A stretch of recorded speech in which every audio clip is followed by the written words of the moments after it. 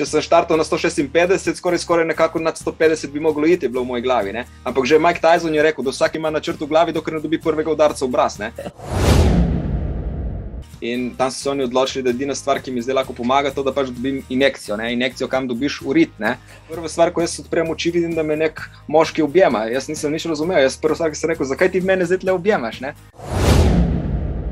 Tako da recept je preprost. Ne? Začneš hitro in končaš še hitreje. Telo ti natreniraš in bo delalo. Ne? Samo če nima stvari razčiščene, prvo v glavi, zato da veš, da zmoreš in da sam sebe, svoje telo prisiliš v to, in drugo, moraš imeti neko izjemno željo.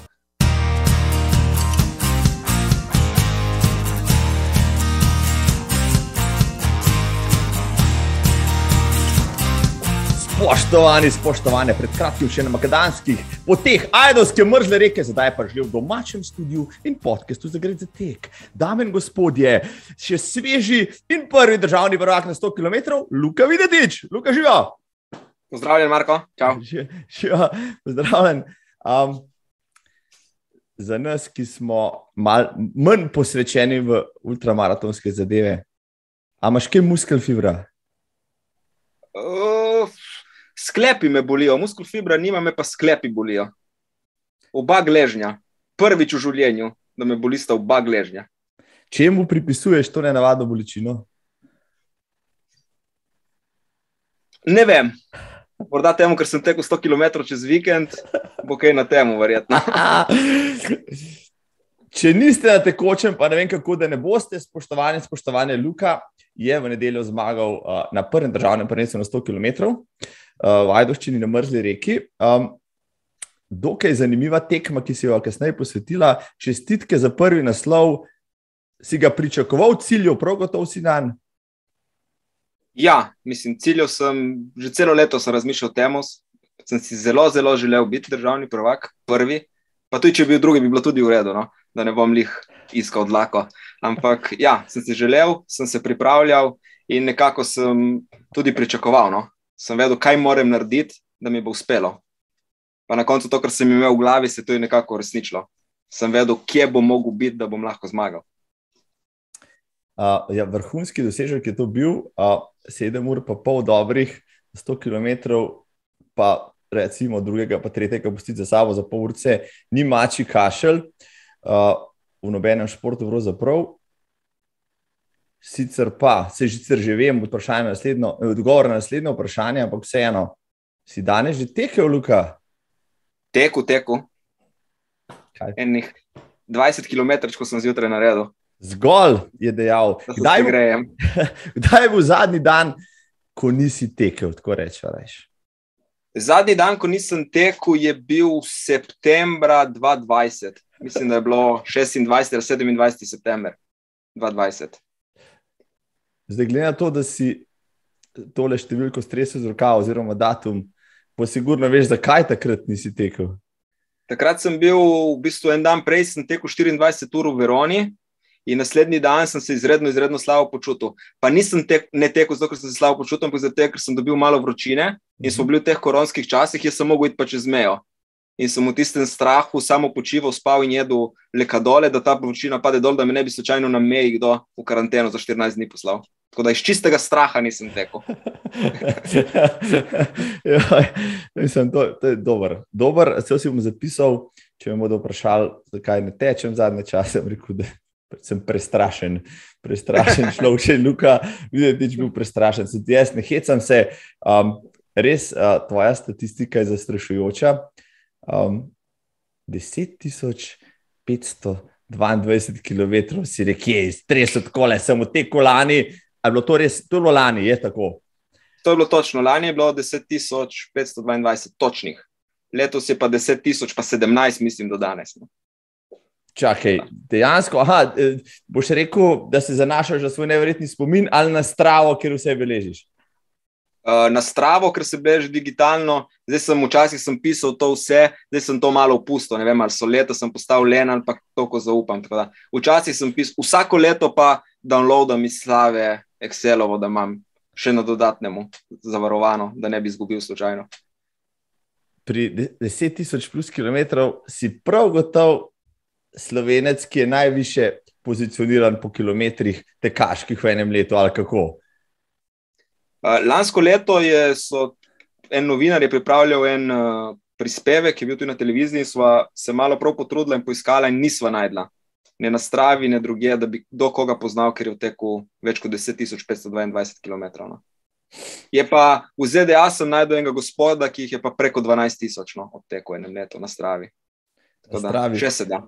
Uh, ja. No, vidiš, da imaš še kakšen mogoče evo, dodatni cilj, da lahko postaneš najboljši na stravi, worldwide, ja, ampak ne letos, letos, vse če ne. Drugo leto mogoče. A pa bi lahko, 10.000 je veliko kilometrov na let, bog pomaga, to je na hitro, tako le 30 na dan, vsak dan, celo leto, uh, bi jih lahko pa pretekel, vem, 40 na dan, vsak dan, celo leto. Lahko bi, po moje, ampak po moje, že zdaj sem grozno utrujen in sem na meji tega, da sploh funkcioniram v normalnem življenju, glede na to, da moram hoditi v službo, pa imaš še kakšno drugo obveznost. Ne? Tako da ta mera 30 na dan je čisto v redu. So sicer obdobje, ko tečem dvakrat na dan, takrat jih je tudi 40 pa 50 na dan, ampak to je 2-3 tedna na leto. Mislim, zanima me predvsem to, ali bi bilo. Spomnim se, mislim, da sem bral prvo leto, leta nazaj, ko je napisal, da je 30 km na dan, on je nikoli več tekel in da je stalo in tako nesmiselno preganjati svoje telo, da nič ne narediš pri neki fizični pripravi, ne za 100, ne za 1000, ne za nič kilometrov. Ne. Kakšno je pa tvoje mnenje? Dejansko je neka količina treninga, to je tvojih 30, morda tista, ki je, bom rekel, zadostna za vse tisto, kar ti potem v tekmah počneš. A jaz bom štartal obratno, da jaz ne naredim niti enega metra, zato da lahko tekmujem. Ne? Jaz naredim vsak meter, zato ker rad tečem in tekmovanje je posledica tega, ker rad tečem. Ne? Zdaj, verjetno, če bi manj tekel in delal, ne vem, trikrat na teden neke intervale, bi verjetno bil tudi hitrejši in bi bil morda tudi bolj uspešen. Ampak pač ta ljubezen do teka je večja kot ljubezen do uspeha. No? Tako da je res, pri meni tekmovanje je zgolj posledica tega, da toliko tečem, ne pa obratno. Ne? Um, zelo lepo povedano, no, se, če bi rekel kar kot drugega, naj bi že presenečen, ker uh, biti ultramaratonec sam zaradi rezultatov, žali Bog, mislim, da se da marsikaj življenju delati z manj inputa, samo zaradi rezultata. Čestitke, če ti nisem prej čestital, čestitam ti za prvi državni nastop na 100 km. Ja, večkrat si rekel, nekje si zapisal. No, mislim, da sem na obala trailu prebral, da je tvoja skrita želja to pustiti. No, zdaj imaš to kljubco, imaš, ampak naslednje leto boš to branil, kaj pa?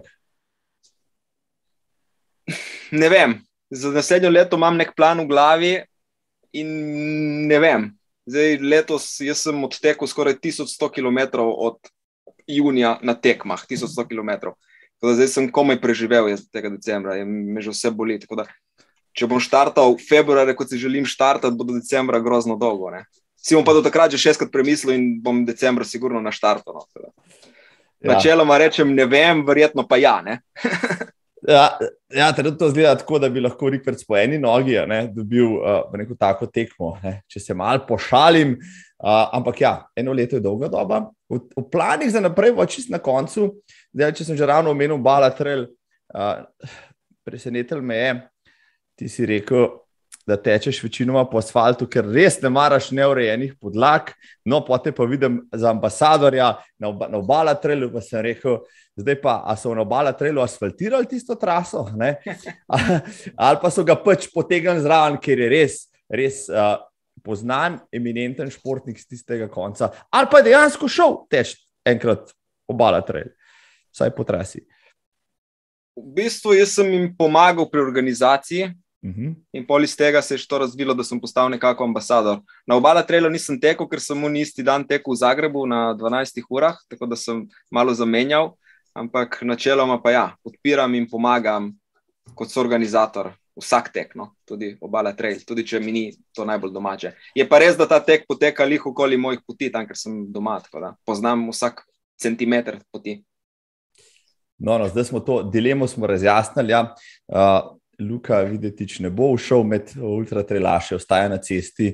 Ne, ne, zagotovo ne. Zaenkrat, če ne, ja. Um, bomo ga poprašali še kdaj kasneje, ko bo on starejši, pa ga bodo gležni bolj boleli, ne hecam se, sej pri trailu teh gležni morda tudi bolijo še bolj. Ampak, evo, začela sva, začela sva z, z, z um, udarno, zdaj spodobi se jim pravično je, da uh, Luko Videtiča, ne za tiste, ki ga tam zunaj še ne poznajo, morda predstaviva tako, kot se spodobi, ampak preden jaz uh, uh, svoje litanije preberem tle, prosim, Luka, sam predstavi sebe. Evo. Uf. Moje ime je Luka, prihajam iz Malije na Dizolo, to je ena majhna vasica, ki gleda dol na Portorož. Uh, načeloma se s tekom ukvarjam celo življenje, tako ali drugače. Tudi če sem prej bil morda v nekih drugih športih, uh, veslav, kolesaril.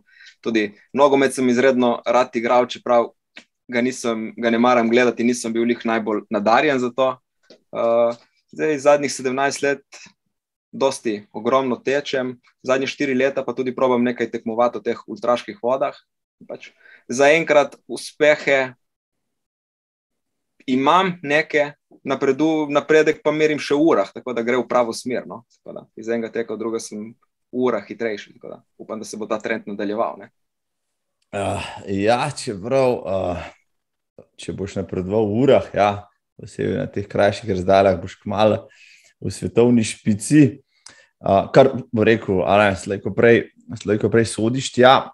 No, lepo si, lepo si to povedal. Uh, mogoče uh, še kakšen podatek, ki sem ga tle zabeležil.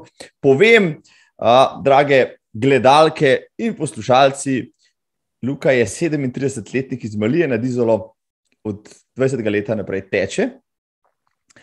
To je njegov način življenja, kaj pa. Uh, tedensko vrteče tudi do 300 km na leto. Ste slišali, koliko ne bom ponavljal, ker uh, bom dobil muskel fiber že odgovorjenja v življenju. Je pa je pretekel že več kot 180 tisoč km in maraton nekoč v izjemnem času, 2 uri 37. Komu je to začelo presedati, je šel na daljše razdalje, kot so Spartatlon, pa Ultrabalaton, pa 12 in 14 urne teke. Lansko leto, ja, v koronskem letu je bil eden izmed šestki, šestih športnikov leta Mednarodne ultramaratonske zveze, letos pa na Spartatonu najboljši slovenec in 12. Absolutno je sveži rekorder Slovenije v 12-urnem teku, 143 km je naklepal in seveda že omenjeno prvi državni prvak. Ni pa skrivnost, da cilja tudi na kak svetovni rekord ali mednarodno zmago. Sem se kaj zlagal? Ne, vse drži. svetovni rekord, to me res zanima. Ja, lej, uh, letos, da vas je vrnil uh, majico, imamo slovenskega 12-urnega teka. Evo, za nalož sem dal gor, ker sem bil zraven, tam sem, tam sem spremljal moža v črnem. Aj črna tvoja barva začetek, evo. Ja, ja, mislim, večinoma tečem v črnem, kdaj pa kdaj si privoščim tudi temno sivo. No? Puh, drzni se. Od tenke je tudi, ker še od tenek sive, da gor, luke vidiš, drugače pa v črni, če boš videl moža v črnem, ki, ki zmer štarta na polno, to je Luka. No, v Kranju takrat si štartal, kaj pa tudi na polno. Uh, jaz sem preračunal po tistih treh urah, kakšen je tvoj tempo in takrat si imel tempo, recimo, bi šel za svetovni rekord, ki trenutno znaša, če ne veste, 170, 170 uh, km. Ali po domače, to so štirje maratoni, en za drugim, evo, vsako treh urah, v 12 urah. Gadem. To je, pa, to je pa že zelo, zelo hitro. Ti si pa to 12-urno razdaljo, v Kranju takrat um, štartal zelo silovito, pa potem popustil, v Zagrebu pa pred enim mesecem, oziroma dvema zdaj že, uh, odtekel, mečkam počasneje pa še vse en. Uh, s 12 km na uro, oziroma s 5 minutami na kilometr. Evo, daj mi, mi malo povej. Uh, če so že pridržali na rekordu. Ne, kako je to izgledalo, na kaj si takrat ciljal, evo, ne, in kaj se je na koncu izcimali vsega skupaj? Uf, jaz v Zagreb sem šel primarno zaradi tega, ker sem bil v Ukrajini, se mi zdi, da sem bil pač razočaran sam nad sabo.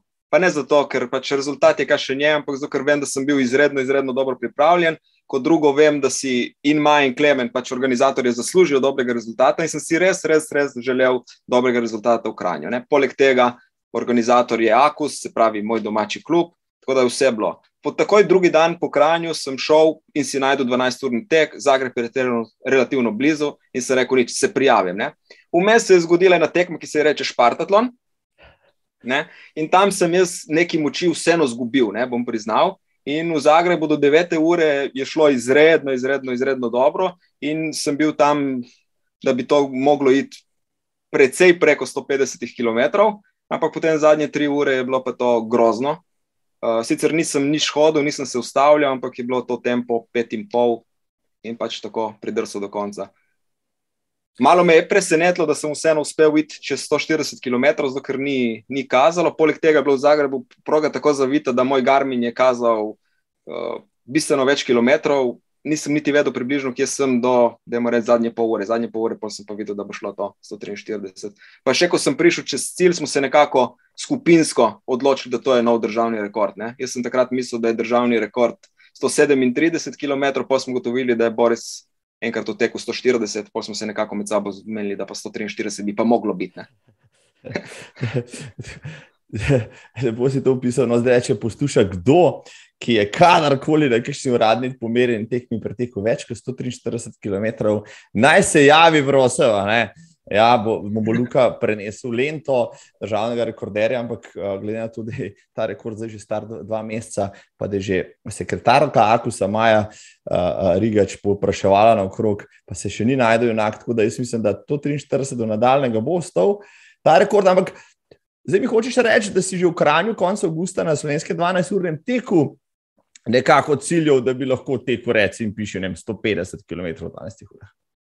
Ja, mislim, jaz sem si to želel, tak je bil plan in tako sem bil tudi pripravljen. Verjetno sem bil v lig za kraj, sem bil najboljši pripravljen letos. Sem prihajal iz ene 24-urne tekme, ki sem jo zelo, zelo solidno odtekel in sem se v bistvu samo še na kraj pripravljal. Ne? Špartatlon sem nekako pozabil, ki sem rekel, da 12 ur v krajnju mi bo samo pomagalo. Sem bil bistveno, bistveno boljše pripravljen kot v Zagrebu in bistveno boljše pripravljen, kot sem bil zdaj prejšnji vikend v Ajdoščini. Tako da krajno stane eno tako razočaranje, ki pač pride, ki treba pozabiti.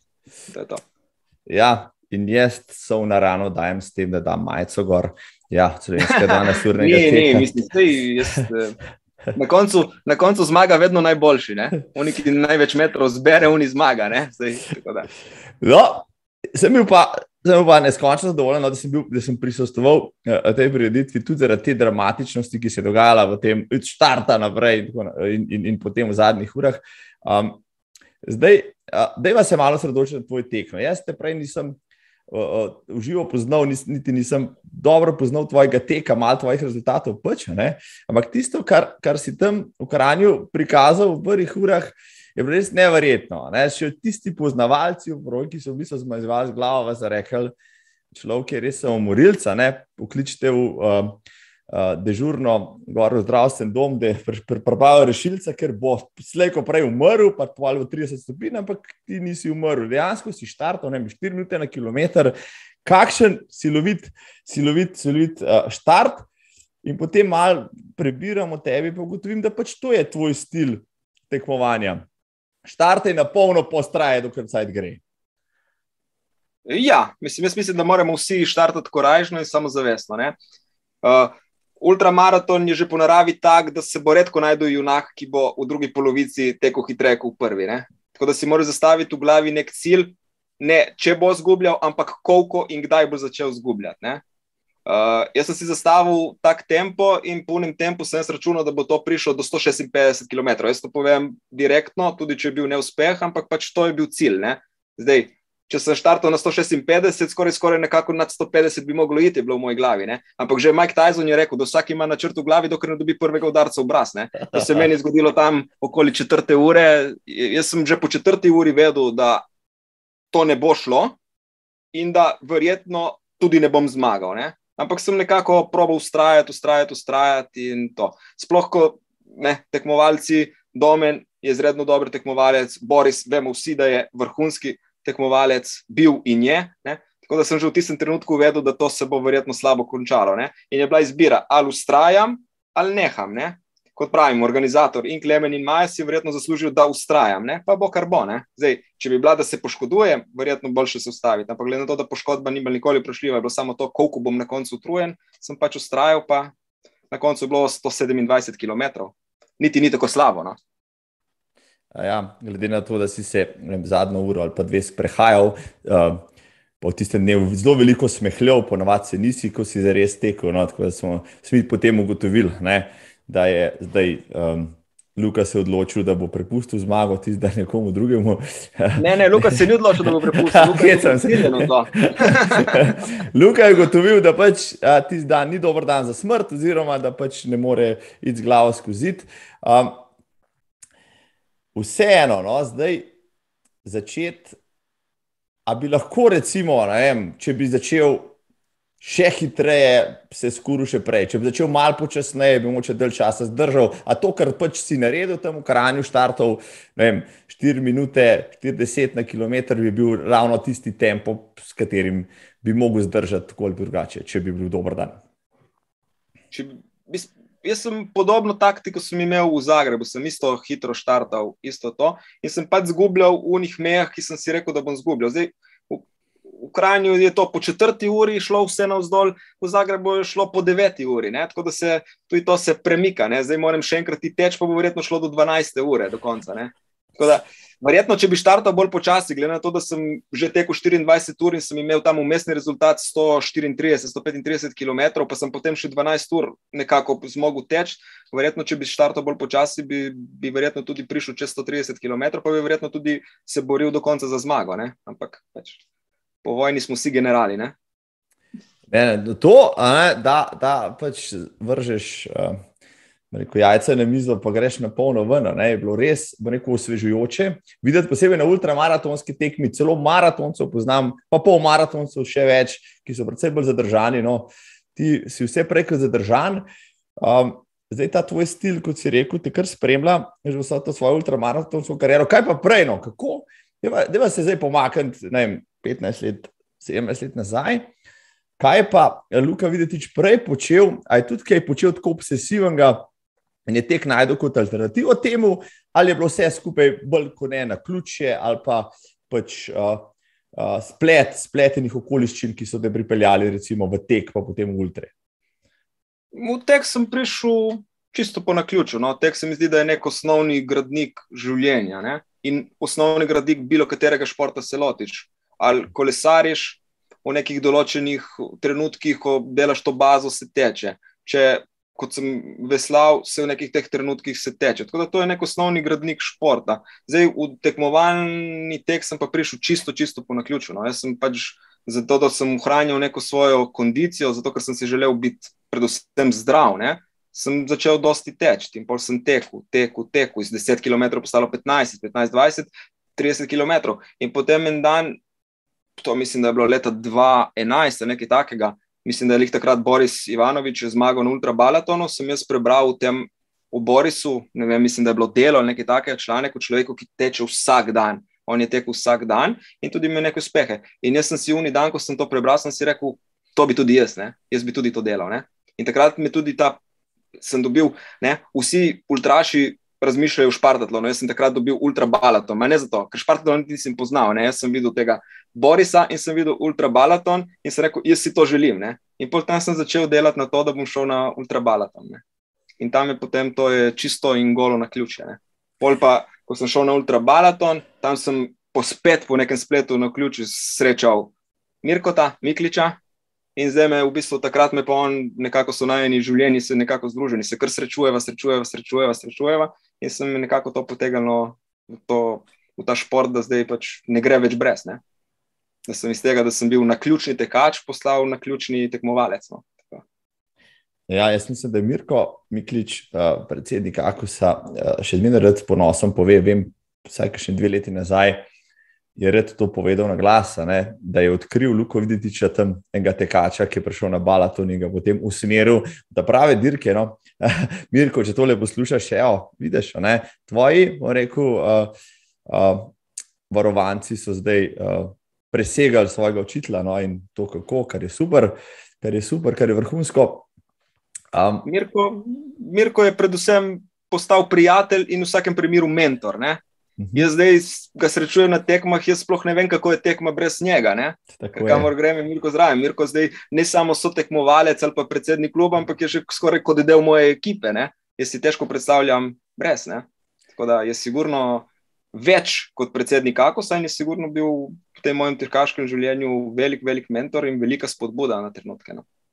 Ja, siva eminenca slovenskega ultrateka, spoštovane, spoštovane, zdaj Mirko Miklič, ja, on je količil marsikatero bom rekel, zmago, pa uspeh, pa presežek novega vala slovenskega ultramaratona, bom rekel, po letu 2000. No?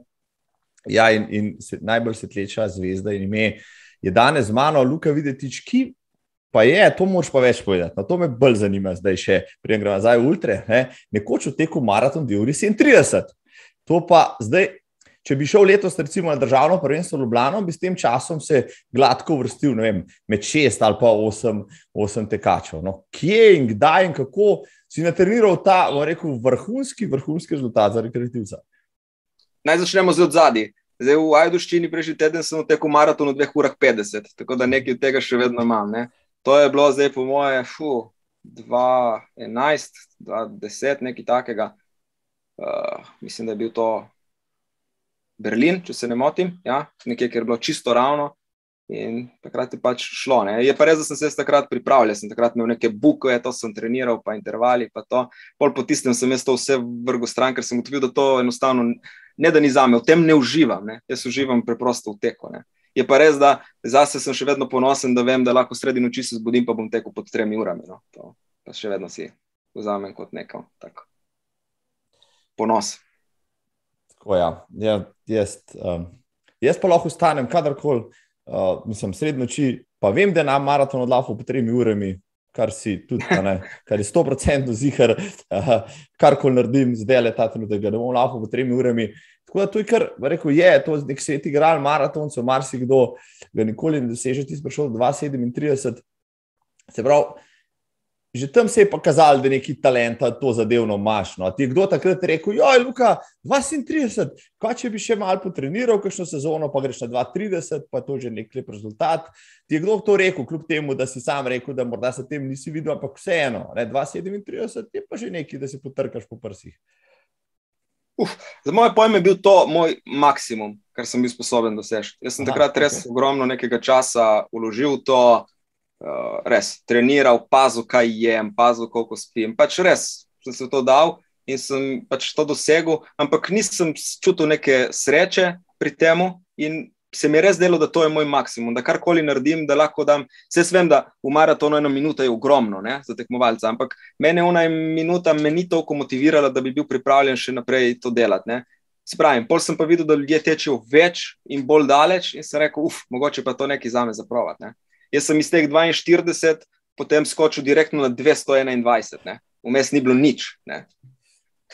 Uh, ja, statistike, v bistvu maratonske, ultramaratonske, um, ultramaratonske sploh ne, no 2018 ne vodijo imena Luka Videtič nikjer, no potem se pojavi tam na, na Blatnem jezeru. Ampak se je rekel, da 2011 si, si v tem prebral, 2018 si se tam pojavil, to je bilo sedem let. Kaj si delal v teh sedmih letih? To bil do kilometrino, razmišljal o tem, uh, preizkušal, kaj ti ustreza, koliko kilometrov lahko. Kaj je bilo v tem času? Prvič sem bil na Balatonu leta 2017, uh -huh. tako da tudi ta zgodba se začne z neuspehom. Jaz sem tam, mislim, da na 170 km, ne da nisem mogel več, dobesedno sem obupal. Tam so bile neke nevihte, uh, res grdo vreme je bilo. Jaz sem se usedel tam na eno klopco in sem klical punco, da naj me prosim, pride iskat, sem jih poslal preko Google, samo kje je, in ona sredi noči po nevihti prišla iskat. In jaz sem bil, ko sem končal ta, sem rekel, konec, to je to, jaz se ne grem več tega, jaz sem dobesedno obupal. Ampak potem, že naslednji dan, sem bil še gor na Mačarskem, sem šel na Blatnem jezeru, jaz sem se nekako zjutraj zbudil in sem si že zavedel, super, in sem šel ven. Ne? Pa se neko nič, pa bomo probali še enkrat. Ne? Pa naj povem, da prvič sem šel solo, se pravi, brez spremljevalne ekipe in ni šlo, in potem drugo leto mi je bilo to izziv. Ne? Tako da tudi drugo leto je v bistvu bilo to brez spremljevalne ekipe, zato meni solo, ne? da sem šel, tekel in končal. Ne? Sem pa potem ugotovil, da, je, da meni se je to zdelo nekaj romantičnega, takrat sem potem ugotovil, da to je predvsem nekaj grozno neumnega. Ne? Zakaj? Mislim, človek navzame vso pomoč, ki mu je na voljo, ne pa da se sili neki z glavo skozi zid. Ne. Jaz sem takrat videl neko romantiko v tem, da grem sam. Izkušnja je bila čudovita, ampak jo ne bom ponovil nikoli več. Asketski ultramaratoni, jaz sem moče za knjige, potem ne, ne pa za prakticirati. Um, Vse ne moreš pa zdaj več povedati. No, za maraton, ok, treniraš 100 km na teden, ajde. Ne. To vsak od nas, ki ima dve nogi, pa, pa še približen uh, dober želodec, pa jedra. Uh, lahko recimo na treniral v enem letu, ampak okay, kako si pa zdaj začel trenirati za, za 200, 220 km? Koliko, si, koliko km si pa takrat na klepu, če zadnja leta klepaš po vem, 10 na leto, 10 tisoč, kaj si pa takrat počel z dobalatona?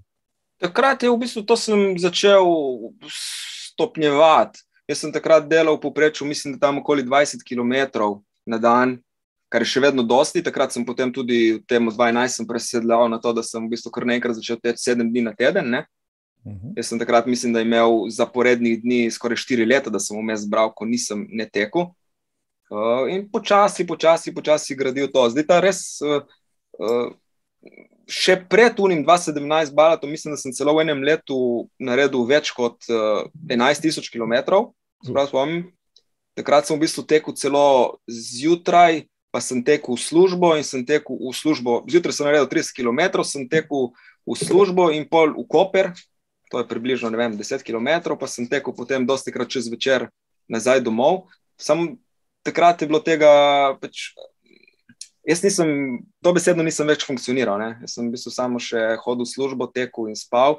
In pol sem naslednjo leto sem pač malo to zmanjšal. In ko sem samo za malenkost zmanjšal, je bilo kar naenkrat se stvari poklopile in so tudi pač zmogel potem te 200 km teč. Verjetno je pa bilo pač to neka dobra baza teh sedem let, zato kar se zdaj dogaja. Ne? Pač, nič se ne zgodi čez noč, moraš počasi, počasi graditi. In ultramaraton je za moje pojme res tak šport, ki se gradi skozi leta, skozi leta. Človek rabi, po moje, 10-15 let, da se toliko utrdi, telo, da toliko utrdi, in tudi um, da toliko utrdi, da potem uh, lahko to dela. Ne? Nekdo, ki je odličen maratonc, za moje pojme, tudi če bo treniral naslednjo leto 10.000 km, ne bo imel toliko utrjenega telesa, da bo pač to zmogel. Odteč, ne? Tako da v njih sedem let vmes sem večinoma samo tekel. Teku ne, niti ne namensko, oziroma nekje v glavi si imel, da bo šel enkrat neko ultra odlaufati, ampak teku z dneva v dan, iz leta v leto, nabiral kilometre, izkušnje, življe in vse ostalo. Za, takrat se pač, tek je neka ljubezen. Mhm. In takrat je bilo to res samo neka ljubezen, ni bilo to, da treniram. Jaz nisem rekel, da treniram, jaz tečem. Zato, ker trenira unik, ki se za nekaj pripravlja. Jaz tečem, jaz grem zjutraj, naredim 120, 15, 30, koliko pač kilometrov se naredi. Ampak jaz tečem, jaz ne treniram, jaz to delam iz neke ljubezni. Tako kot nekdo hodi na sprehod, jaz pač tečem. Ne? To je bilo takrat, bi rekli, vsi smo gledali Forest Gumpa. Ne? On tudi ni tekel zato, da je šel na ultra, on je pač tekel. Ne? In jaz sem se v tem najdel, jaz sem pač samo tekel. No, to, da recimo re, sedem let tečeš, brez tega, da rečeš eno tekmo, to sigurno pomeni, da ta ljubezen in ves je res močna in nezlomljiva, ampak vseeno, ne, jaz imam rad mrzkešno stvar v življenju, pa vendar le, da je vsak dan vstal zaradi nje ob treh zjutraj, tudi ko je rekel, naliv, mrz, burja, ne vem kaj, ne. Wow, ne, to, je pa, to je pa že neka zauzetost, ki ne moreš kar tako reči, da je, da je mogoče samo prostočasno razvedrilo ali pa ljubezen do gibanja, ampak nekaj več. Ne? Ali če ti ne bi šel zjutraj teč, to ti je pač nek dnevni ritual, niti problem ostati v treh ali pa pol štirih, da greš, si se tok navadu, kje, kako se pripričaš, kdo imaš tudi slave dneve, Bog pomagi. Tek je, tek je tudi do neke mere odvisnost, že, ne? to je mhm. nekaj, kar pač treba narediti. Ne? Jaz verjamem, da dan, ko zjutraj odtečem, je boljši kot unik, ki ne odtečem. Ne? Uh, seveda so dnevi, ko se mi ne da, seveda so dnevi, ko nimam, reč, uf, je, ne? zdaj pa gremo. Ne? Je pa res, da ko ti to enkrat pride od podzavesti in je to nekaj, kar imaš že od spodaj, ko v treh in pol vstaneš, jaz ob treh in pol zjutraj ne razmišljam dosti, ne? jaz avtomatsko naredim vse, se oblečem in kar naenkrat sem odzunaj. Kaj še enkrat laže, kaj še enkrat mi hodi tudi malo na jog zjutraj, ko odprem okno in vidim, da je žuje in da je mrzlo. Ampak se stisne zobe in se gre. Je pa res, da ko sem 20 minut od zunaj, tudi če je največji naliv, sem, sem srečen. Zdaj, je težko to razumeti, ampak očitno sem najbolj srečen, ko sem najbolj nesrečen. Ne? Uh, ta tvoja zadnja misel imela že filozofsko podstat. Ja, zelo, lepo si to povedal. Mogoče, mogoče ja, uh, naslov tvoje avtobiografske knjige, ko je še enkrat spisal. Ja. Uh, super, super misel, začetek. Ne? Ampak. Uh, Zdaj, lahko bi se pa v vseh teh letih tudi zgodilo, no, 17 let je dolga doba, da bi se poškodoval, pa potem nekaj časa ne bi mogel teči. Ampak to se ti ni zgodilo, če prav razumem. Uf, mene vsak dan nekaj boli, ne? najprej to postavimo, to zakoličimo, da vsak dan me nekaj boli. Ampak jaz grem čez to, zdaj da bi imel neko resno poškodbo, da bi imel neko zlomljeno nogo, kaj takega nisem imel. Ne? Tako da neke resne poškodbe nisem imel, me pa večkrat kaj boli, me boli koleno, pa stisnem, pa gre skozi. Letos me recimo tri mesece zaporedoma bolel hrbet, pa polje kar naenkrat nehalo. Ne? Jaz verjamem, da pač se tudi telo se enostavno udane vidi, da z tega ne bo. Telo kriči po tem, da nekaj je v redu, ampak potem ne. Pametnejši ponavadi odneha ne? in očitno je telo pametnejše kot um pri meni. To, to si tudi lepo povedal. Ja. Um, se strinjam s tabo, no, tudi pred leti, ko sem tekel še bistveno več. Pa sem tekel vsak dan, ne, in me kdo vprašal, še novinec, kdaj pa nehajo, ne vem, da se ti pa pokostnice, ki so, so se ti vnete, nehajo boleti, pa kdaj te gleže nehajo boleti. Rekel, ne, po, po 20 dnevih, kot laufaš s to bolečino, te pa pač nehajo boleti. Ne, pa če tudi če nič ne delaš, slejko prej te nehajo boleti. Ne. Uh, evo, poškodb nisi imel, tekel si toliko kilometrov. In so pri vprašanju, ki, ki se večkrat poraja pri teku. Zdaj, če vprašava rekel, rekel medicince, pa, pa strokovnjake iz področja fizioterapije, pa bomo rekel, trenerje in, in podobne, ne? kje in do kje je zdrava meja tekanja. Ne? Bo vsak rekel, ja, ne vem. Ali pa veliko njih bo reklo, mogoče kakšen maraton na let je še tako pogojno, vse ostalo, kar je več, je pa že uh, psihofizično lahko, vsaj fizično lahko destruktivno. Ne? Kje bi ti postavil, glede na to, da imaš zdaj skoraj 20 let izkušenj z velik tekanja? Je, ampak vem, da ne mora posplošiti, ampak vseeno, pogovarjajo se o tem, zdrava meja tekanja, ki jo, ki jo je smiselno, recimo, o kateri je smiselno govoriti, da je še zdrava. Jaz prvo bom povedal to, jaz hodim na ultramaratone, in še nisem videl bolanega človeka na štartu. To pomeni, da te klih ne škoduje tako grozno. Jaz mislim, da vsak si mora postaviti mejo, v kateri še uživa, oziroma v kateri še ne, mu je to zjutraj užitek, ki teče, pa popoldne, kadar gre. Ne. Ko gre čez zuno mejo, da mu je to muka, je verjetno preveč. Ne. Jaz mislim, da se mora prej odločiti, v glava se mora odločiti.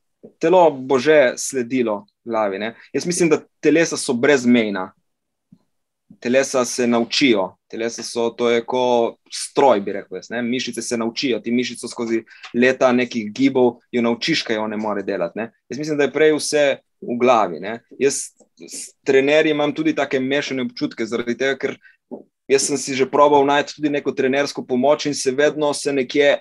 Ne strinjamo, ko jaz jim povem, da tečem 220 km na teden. Tam je pač vedno, oni bi, da bi jaz tekel 100, jaz pa sem rekel, da, da ne, da zato, da bom mogoče 10 sekund hitrejši, se ne bom odrekel toliko teka, zato tek imam rad. Ne? Tako da jaz mislim, da telo nima meje, mora pa vsak ugotoviti, do katere meje še uh, uživa. Jaz ne zagovarjam tega, da vsak teče 30 km na dan, ne? zato ker nekomu je dovolj 5 km na dan, da ga usreči, da se počuti zdravega. In verjetno za neko normalno rekreacijo je tudi 50 km na teden tudi čisto dovolj, če človek hoče ohranjati in biti zdrav.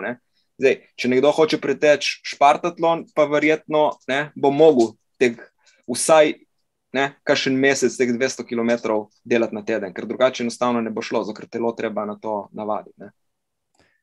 No, ja, nekaj se že razčistila, ne? to zadevno. Ja. Za tiste, ki se sprašujejo, pravi so to neko rekreativni tekači, ki so jim 200 km razdalje na teden, pač uh, nedoumljive, ne? kako je to lahko še možno ali pa zdravo. No, ampak to, kot si rekel, pojmo pogledati na štart, kaj še na ultramaratona. Pa poglejmo vitalne, pa, pa, pa zdravstvene kartone teh ljudi, pa primerjamo s običajno populacijo, pa bomo videli, kje smo. Um, jaz sem, jaz sem, mene je zdaj recimo izredno srečno, zdaj sem gledal ta maraton v Valenciji, Neo Kršinar, kako je tekla. In jaz sem potem zasledil, da ona tudi teče 170 km na teden. Ne? Pa ne zgleda bolana, ne zgleda nezdrava, čisto v redu zgleda, celo lušna je ne? in noben problem v tem. Tako da tudi punci 170 km očitno ne škodi. Ne? In se tudi vidi, da nek uspeh ima. Ne?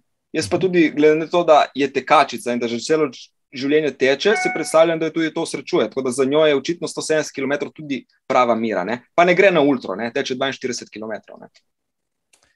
No, evo, to, to si lepo povedal. Ja. V bistvu je cel kup lohenih parametrov, o katerih se pogovarjamo. Ne?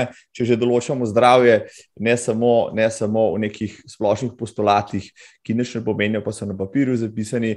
To je res, ja, mogoče komu res ustreza. Ne, sem se pogovarjal že več ultraši v tej, v tej oddaji, tudi z Mirkom Mikličem, pa špelo šal in podobnimi, ki na teden pretečejo 200 plus km, pa so delač od tega, da bi imeli zaradi tega kakšne zdravstvene težave. Ampak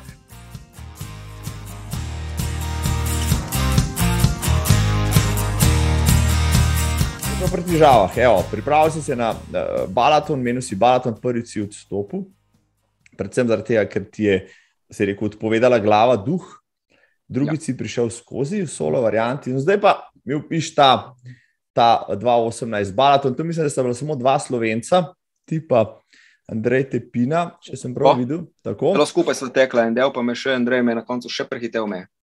Par, nekaj pol ure sta bila na raze, nekaj tazga, ja. nič več. Uh, kar je za tako razdaljo so razmerno malo. No, da mi malo, recimo, opiši, zdaj si šel tja na popravni izpit, pripravljen si bil, vsaj mentalno, da si sigurno bolje. Ampak vseeno, ko stojiš na štartu, tako zahtevne, rekel, tegaške predite, se ti vendarle mrske dogaja v glavi, računaš, kaj, kje, kaj boš počel, kaj si, s čim si imel takrat moče največje, največje strahove, največje težave, preden si se podal na tako dolgo pot. Kot prvo, jaz sem to jemljal kot nekaj, kar je plus, ne? to je dopust, ne? to je nekaj, kar sem si želel, to ni bila muka. Ne? Seveda, eno noč prej malo te skrbi, ne? ker se pospešiti na 220 km, ko si že enkrat odstopil in veš, da ni lahko. Veš, da boš ne, ali bo bolelo, vprašanje je samo kdaj in koliko bo bolelo. Ja, tako da sem imel slabo noč in to zjutraj na štartu, pa nekako sem ta glava je bila čisto prazna in sem si že zjutraj rekel, vse bo šlo. Ne? Jaz sem si izračunal 220 km, Eh, tam je, mislim, da 32 ur maksimalni čas, in takrat ni šlo to za tekmovanje. Jaz sem non-stop gledal, imam čas, imam čas, imam čas. In sem to čisto počasi, ko sem bil kje utrujen, sem se ustavil, vmes, ko me kaj zabolelo, sem tudi hodil. Takrat ni bilo to tekmovalne narave, to je bil res takrat dopust, to je nekaj, kar sem si jaz želel narediti zase. In po pravici povem, da takrat je bilo tudi doma, sem jaz rekel, to je nekaj, kar naredim in nikoli več ne ponovim. Ne? Uh, Tako da je bilo v bistvu, nisem imel nekih težav z glavo, celo tekmo nisem imel težav z glavo, sem bil pač dobre volje. Žal je edino to, da sem si res toliko utežil zadeve, da sem šel solo, in žal mi je tega, da sem pač prepovedal družini, punci, vsem, da grejo z mano, da smo se srečali v štartu, ker sem potem tudi do neke mere njim vzel neko doživetje in sebi vzel neko doživetje, da nisem imel domačih celo to pot okoli sebe. Ne, ta trma me je pač še nekaj vzela. Ne. Zdaj, sama tekma, si predstavljamo, ne? grozno, vse boli, žuli, krvave noge, lakota, žeja, vse se ti zgodijo na taki tekmi. Hvala Bogu, je vsaj vreme sodelovalo, da ni bilo držja. Ne? In pol se spomnim, tam okoli 150 km je za mano pritekel Andrej Tepina in takrat je pa sploh ušlo vse. Smo se malo pogovarjali, slovenska beseda, pa ne, hitro steče pogovor, pa smo potem nekako skupaj to pre, preživela. Um, no, potem si mogoče še kdaj razmišljal, da je sem naredil v tistih 30 urah, lahko bi ga šel pa še enkrat, ampak zdaj pa malo bolj za res, zdaj pa z ekipo, zdaj pa napadati najboljša mesta. Maš to še, mogoče ki na bucket listi. Balaton sem bil letos prijavljen. Letos tak, če bi se maja zgodil Balaton, tako je bil Aleksandr Sorok in uh, Radek Brunner. Se pravi, vse, kar nekaj velja v svet ultramaratona je bila letos na Balaton prijavljeno. Jaz sem po svoj štart prenesel na naslednjo leto, tako da hu, 29. aprila, drugo leto, mislim, da sem na štartu Balatona. No, Stvarno je razgode, evo, aprila, ponovadi je Balaton bil, če se ne motim, malo kasneje, maja, tako, pa znali biti tudi 30 stopinj, že. Um, pa z, uh, videli smo že tekače uh, z, uh, rekel, z marelami pred vročino, so se borili pa z, z razno raznimi pomagali. Kako pa ti prenašaš, glede na to, da tečeš večinoma v vseh letnih časih v črnem, kako pa ti prenašaš vročino? Recimo, vročino, letos sem imel, da je reč, eno dobro in eno slabo izkušnjo. Sem bil v Turinu na 24 urah, je bilo 40 stopinj in sem po 90 km odnehal.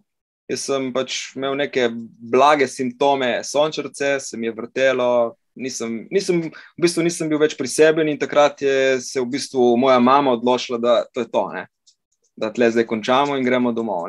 Potem sem pa čez en mesec bil v Avstriji, ki je bilo spet 35, 36 stopinj čez dan, pa sem to kar preživel. Je pa res, da sem taktiko izredno spremenil. Ne? Prvo, svoje ambicije za rezultat sem primerno zmanjšal, in drugo, čez dan, ko je bilo najbolj toplo, sem se odločil, da sem se vsako uro ustavljal, tudi po pet minut, da sem se hladil in pol po noči sem pa začel nek svoj tempo dati. Ne. Da, z vročino se moraš spopasti, in predvsem pa moraš biti toliko ne, inteligenten, bom rekel, da veš, da pri 40 stopinjah ne moreš doseči takega rezultata kot pri 20, in temu primerno moraš vso svojo taktiko spremeniti. Ne, vročina je za moje pojme ena od glavnih uvir za ultramaratonce. Ne. Ker to ni vročina, da si pol ure ali pa da si dve ure, kot ne moreš reči pri nekem maratonu ali pa tri ure na soncu, to pomeni, da si 12 ur v soncu in to lahko prinese tudi neke ne, hude zdravstvene težave, če nisi pozoren. Ne. Tako da balaton je znan po vročini čez dan in mrazu po noči, zdaj letos bo malček prej, zato ker se istočasno dogaja Giro, ki štarta v Budimpešti, mislim, da pa so to pač premaknili za Aha. en teden. Bomo videli. Um, Tako bo. Mogoče, mogoče ja, bo pa prijetnih 18 stopinj, pa vetrič tam čez Mladno jezero upihal, ja, pa bo rekel, tvoja um, zaščitna črna barva na koncu prišla še, še, še, še prav. Zdaj, če bi tekel po beli majici, po beli kapci, ti že kdo rekel, bi pa mogoče lažje prenašal kakšne vročinske napade ali ne. Mislim, da je še vedno pomemben stil pri vsem tem. Črno je ne črno, ne. bela ni za vsakega. Prva liga, odličen odgovor. Ja, to, to pa je odgovor. Ja, to odgovor, ki ga, ki, ki ga izusti lahko samo prvak. Ja. Stil je pomemben. Uh, tudi ta tvoja, uh, rekel, kapca s šildom nazaj, no, sej, evo, da, da bom v stilu. Še jaz na takšno kapco, evo, da so oba v stilu, ki sem bolj v svetlih, ti so v temnih barvah. Ta kapca, pa ta šild, to tudi furaš samo zaradi stila, ima kakšno uporabno vrednost. Uh, ne, kap, kapico imam poleti zaradi sonca, tudi ne uporabljam, tudi tako bi rekel, ribiško, kot en klobuček, ki ni lih toliko stilska in sem bolj kot en ribič. Ne? Ampak ja, kapo imam tudi zaradi tega, da se ne potim, da mi hodi po obrazu, tako da ima tudi neko funkcionalno, seveda pa tudi estetsko, ne? mora biti. Ne? mora biti v stilu. V stilu ja, zdaj, uh, okay. Kapca so obdelala, majico tudi. Uh, v, čem, v čem pa Luka vidiš teče? Najkice sem večkrat videl na tvojih nogah. Uh, kaj je tvoj, tvoj najljubši copat, recimo vsakodnevni, pa potem morda tudi tekmovalni? Evo. Uf, do zdaj, v svoji 17-letni, da rečem, tekaški karieri, sem vedno v najkicah tekel, nikoli nič drugega. Letos pred Spartatlonom sem malo, sem kupil tudi neke druge superge, sem malo probal, pa na koncu sem se vrnil k najkicam. Zdaj vsak, vsak dan tečem v, da rečem, Pegasusih večinoma, ker je tako neutralen in vsak dan je cupat, tekmujem pa v Vaporfly, seveda, karbon mora biti, ne, dan danes. Ne. Um, No, če so že pri karbonu, pa v Vaporflykah, uh, ok, ti teče so razmerno hitro. Slišim tudi komentarje tam zunaj, da če pa uh, v Vaporflykah ne dosežeš ta pravega tempa, so ti lahko bolj ovira kot, kot po, pomagalo. Je to res, kakšne so tvoje izkušnje evo, s karbonom? Uf, jaz mislim, da tehnologija, ne, znanosti treba zaupati. Ne? In tehnologija ne, je toliko napredovala, da jo treba uporabiti. Zdaj, eni pravijo, da je škoda za sekundo na kilometr to uporabljati. Jaz mislim, da vsaka sekunda, ki je zastojn, je dobra. Zato, ker ti sekundo, če dobiš zastojn, ne, je zastojn, če pa moraš to sekundo ti pretrenirati, je pa to težko to sekundo pretrenirati. Tako da jaz teh pomagala pač bom vzel. Ne. Zdaj, drugače, same superge so izredno, izredno, izredno udobne za mojo nogo, ne. vsakemu ne pašijo. Ne. Ta njihov Zoom X uh, spužva izredno, izredno, izredno mehka in jaz nimam ene težave z njimi. Ne. Je pa res, da zdaj se verjetno, kot kaže, se neke stvari spremenjajo, tako da verjetno tudi najkice gre v pozabo. Uh -huh, uh -huh. No, o, čem, o čem govoriva zdaj, le, evo, vidiš, zdaj, če si že nakazal? Uh, kaj se spremenja? Boš dobil sponzorja, ki ti bo zalagal stopati druge znamke, ali, ali govoriš o čem drugem? Evo nekaj se stvari se spremenja, nekaj stvari sem se že dogovoril, tako da majčka je že prava, super je pa, upam, da se ta teden bi se mogli še dogovoriti, načeloma smo dogovorjeni, tako da ne bi smelo biti uvirne. Če bo zdaj just do it, bo zdaj verjetno time to fly. Ne? ja, se naj bo, ja, le koga. Ne? Slej, ko prej se najboljše pobere ena znamka. Si pa preizkusil te sopate, ti ustrezajo, so ekvivalent temu, kar si do zdaj imel. Ja, jaz kot pravim, sem kupil zdaj kar nekaj copat pred Špartatlonom. Različne znamke, probal in mislim, da izdelek je vrhunski. Tako da mislim, da zaradi tega ne bom nič počasnejši. Ne. Je pa res, da kar še enkrat pomislim v tej spremembi, malo me stisne pri srcu. Ja, povedati, 17 let je le dolgo obdobje. Uh. Ampak, ja, ja, zakaj pa ne? ne? Spremembe so sestavni del uh, vsega, tudi napredka. Um, če so že prcopati, tudi jaz sem tuhto, rekel si 180 tisoč km. To je, to je 4,5 krat okrog Zemlje, pa uh, že uh, koliko delaš pol poti do Lune. Povej mi, koliko, siguren človek si za številke, koliko tekaških stopat polničiš takole v enem letu. Ne? Mogoče včasih si jih manj, zdaj, ko je zadeva bolj občutljiva, jih več, no koliko, ajde. Zdaj, letos je bilo 14 parov za trening in dva para, zdaj, če dodam še tega, ki sem v soboto in tri tekmovalni pari so šli letos. To pomeni 17 parov. No, da, zdaj pa še, zdaj pa še za, za najno poslušalstvo, čist tehnično povedala, koliko kilometrov pa narediš v, v paru za trening, pa koliko v teh vaporflykah na tekmah, da so še, da imajo še svojo funkcijo in da so še sposobne, kje da do sebe. Zdaj, na, za trening copati 600-700 km stisnem ven, uh, v Vaporflykah pa ne vem, zdaj, če je to 24-urna tekma, lahko tudi samo eno. Ali pa zdaj, recimo, sem eno 6-urno, pa eno 24-urno, pa, ali pa sem polovico ene 24 dostopom, pa 12 ur v Zagrebu z enim. Je. To pomeni, da 300-400 km več ne gre. Ne? Se pravi, da je dosleden. Potem hočeš reči, so dejansko se funk njihova funkcija rekel, vaporflakah, karbon, pena, zumix in tako naprej, pri, pri navadnih treniških copatih uh, blaženje toliko uniči, da uh, z njimi ne bi mogel uh, narediti recimo še par sto kilometrov. Jaz mislim, da predvsem pri Nike je nekdo zelo, zelo inteligenten in marketinško usmerjen, zato ker enostavno zmanjka gume. Niti ni problem, da so one dolge, ampak enostavno ni dovolj gume, da bi človek še vedno naredil. Oni dajo 3 mm gume in to enostavno tako naredi. Ne? Če bi oni dali na mesto 3-7, bi verjetno še 100-200 km uspeli potegniti ven. ja, to je to. direktno si povedal, tako kar je najbrž res. Ja. Um, poznam veliko, tudi kar še ga vpraša ki je bolj šparovne sorte, pa drgne rekel, svoje copate tudi 2000 km ali pa jih hoče v Hofer kupovati. Uh, zdaj, najbrž si probal tudi kakšne, bo rekel, bolj enostavne copate, uh, saj za trening, tudi morda iz vidika, da kaj prehraniš na tem, pa gotovo, da morda to ni pametno ali kako. Pravim, vsakodnevni copati imam jaz večinoma Pegasus, kar so v bistvu cenovno, da moram reči, dostopne superge. To je pač tudi, da moramo reči, na spodnji del te njihove cenovne lestvice, ki jo imajo. Jaz sem z njimi izredno zadovoljen. Prvo, zato ker imajo dosti gume, se naredi dosti kilometrov in so od spredaj precej široke in so izredno dobre. Tako da jaz mislim, da za trening. Ne rabiš trenirati v karbono. Ne? Je pa res, da če delaš še hitrejši trening, jaz sem izredno rad tempo teke. To so tempo teki 30, 40, 50 km na naši bonifiki v Kopru. Takrat tudi obujem vaporflake. Prvo, da navadim mnogo na to, in drugo, zato, ker je občutek vseeno različen. No. Jaz ne vem, kako bi to opisal nekomu, ki ni probo, ampak če človek proba, ugotovi, da, da je drugo. Da, je, da, da to, kar oni pravijo, da je človek res hitrejši, res je, se pozna.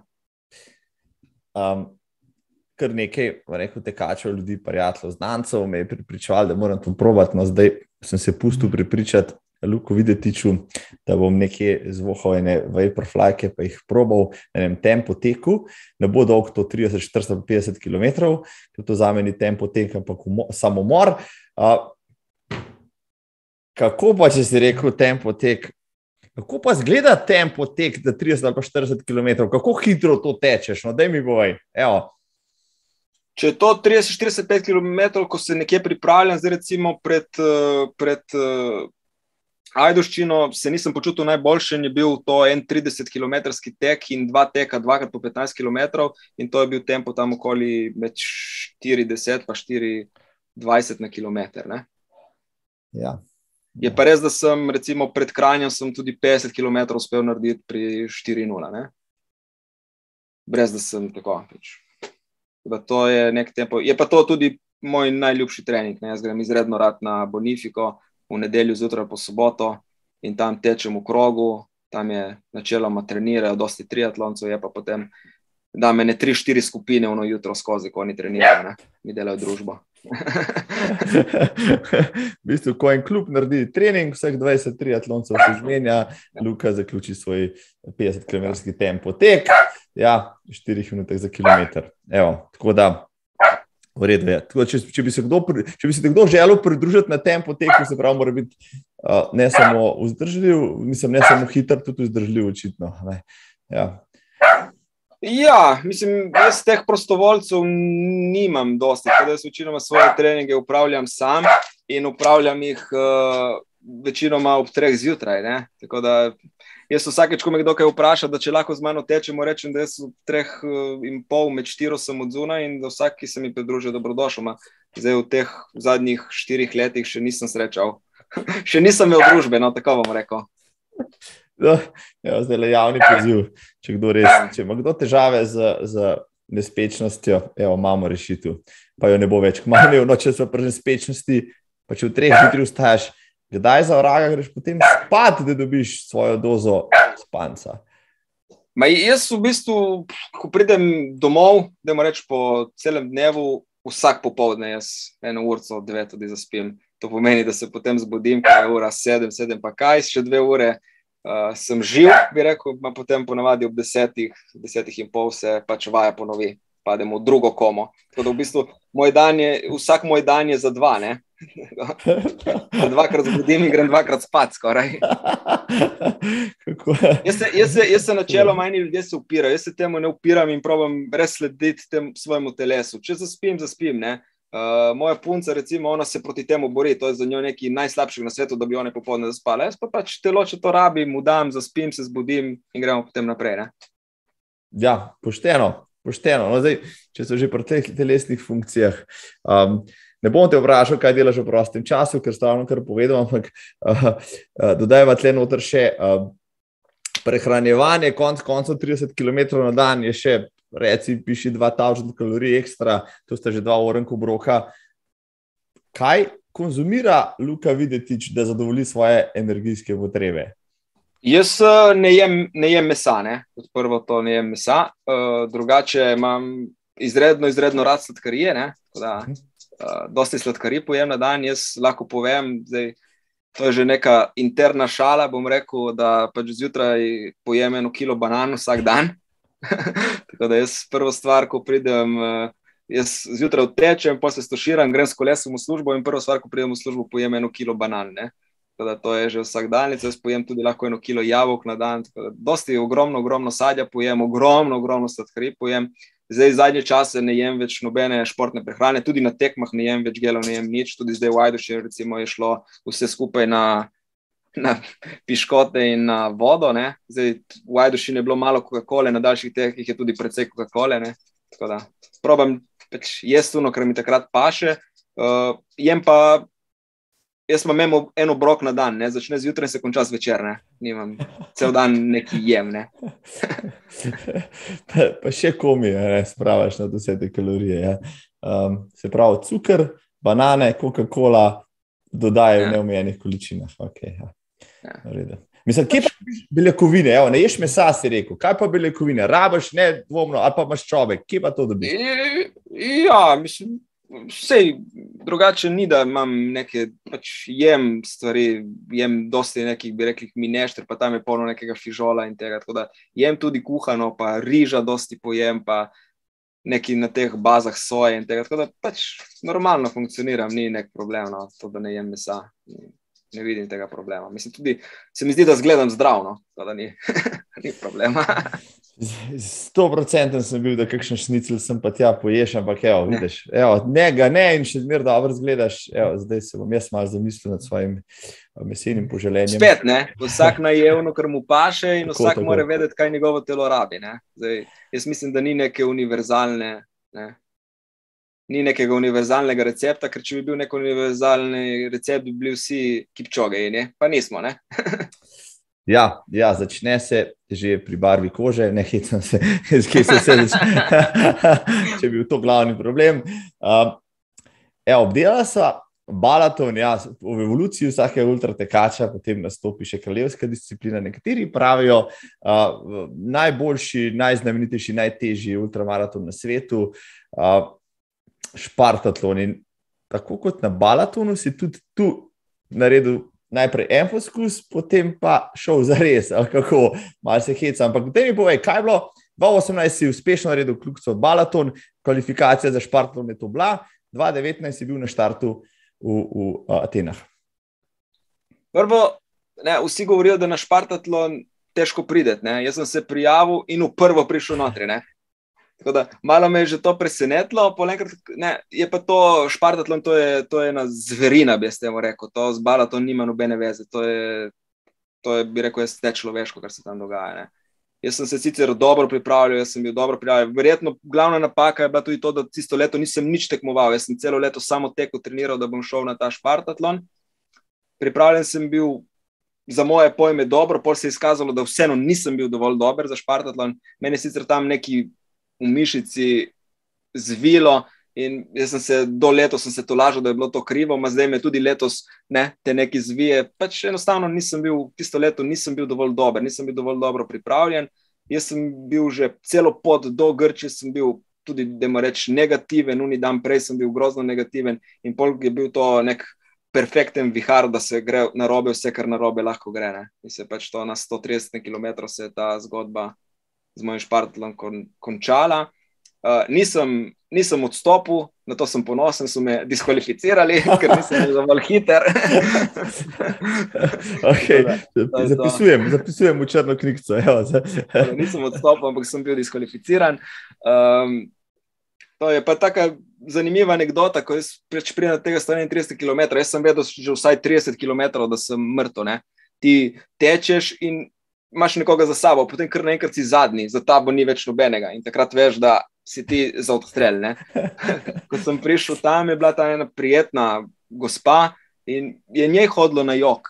Ker mi mora pobrati številko. Ne? Je se tako nekako obrnil, da sem jaz njo to lažil, da vem in da je v redu. Ne? Ker jaz, oni, time cut sem v bistvu takrat niti za minuto nisem šel skozi. Ne? Samo je tako vseeno, ki bi na, na naslednjem bi izpadel. In pač tudi ta odstop na Špartatlonu je do neke mere neko posebno doživetje. Zato, ker neko bi rekel, oni so izredno, izredno, izredno spoštljivi, tudi če odstopiš. Ne? Ona mi je pobrala številko, ne gospod, je rekel, se moram usesti, me je on se zudil, mi je pobral dol čip. In dobiš tako občutek, da tudi če ti ni uspelo, cenijo tvoj trud. Ne?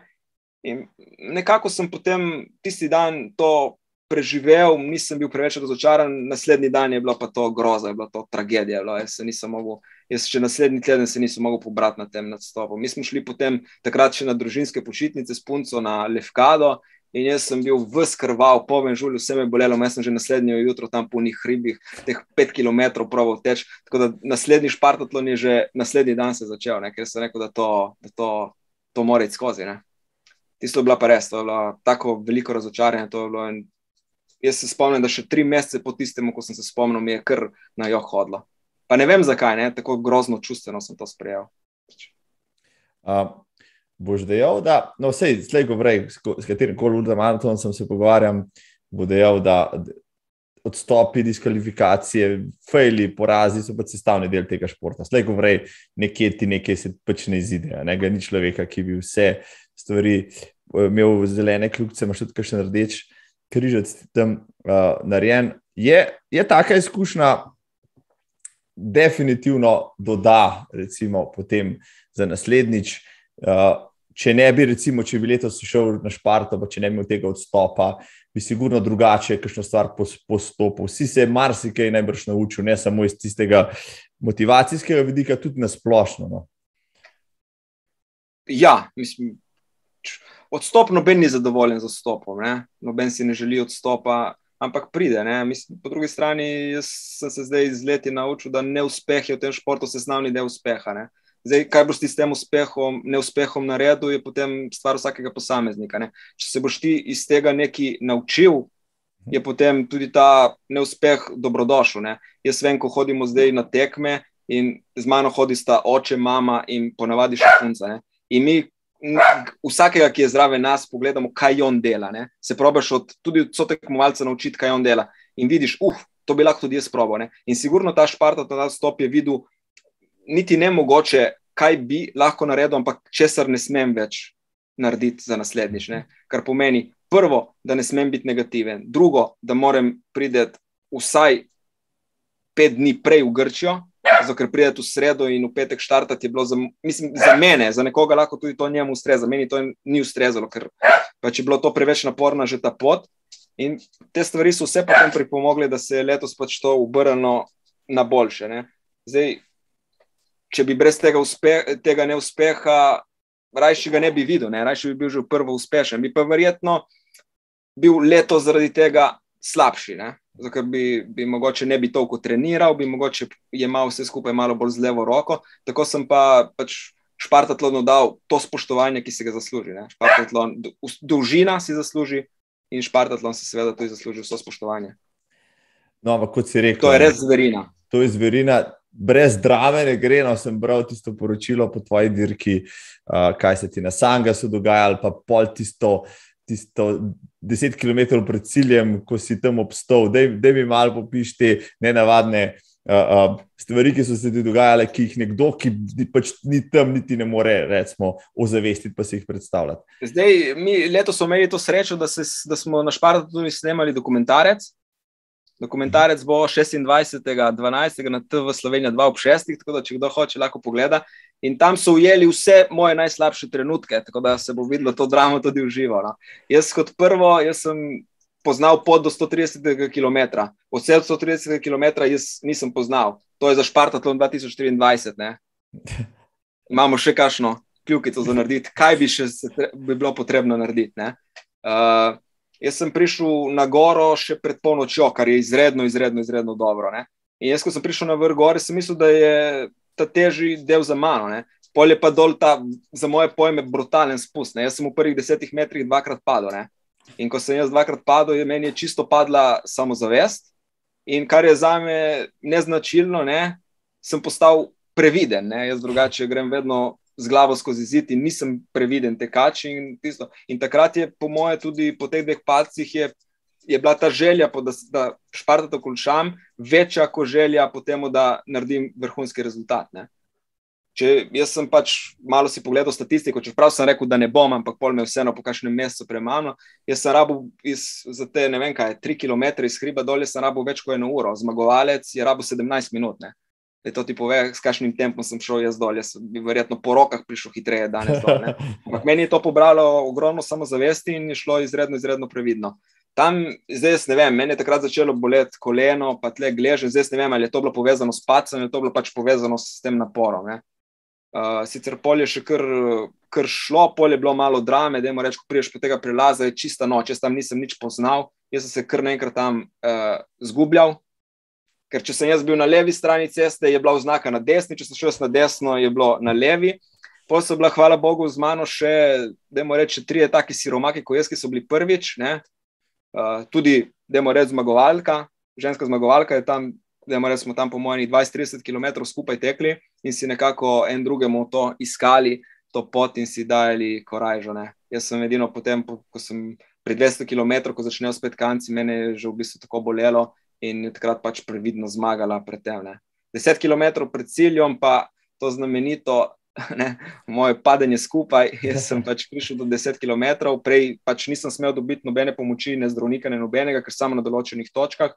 Tam so me pač čakali, zdravnik je bil z nami, Primoš Kus, pa Rado Ribič, ki je pač fizioterapeut, in so mi tam pomagali. In tam so se oni odločili, da je edina stvar, ki mi zdaj lahko pomaga, to, da pač dobim injekcijo. Ne? Injekcijo, kam dobiš urit. Ne? In jaz, ko jaz dobim to injekcijo, meni je kar zmanjkalo. Ne?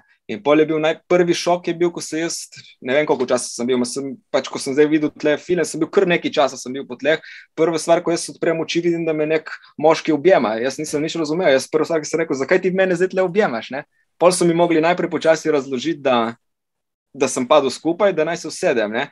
In pol je bilo teh neskončno dolgih 48 minut, 10 km pred koncem, ker smo se uspeli še med sabo pokregati in vse to, kar spada ne, zraven, preden sem pač šel naprej. Ne. Jaz sem zdaj, pač, zdaj sem lahko zdaj koražen, ampak če so oni ocenili, da nisem zdaj naprej, verjetno so imeli ne, prav, da pač moram tam 20-25 minut posedeti, da pridem sebi. Ne.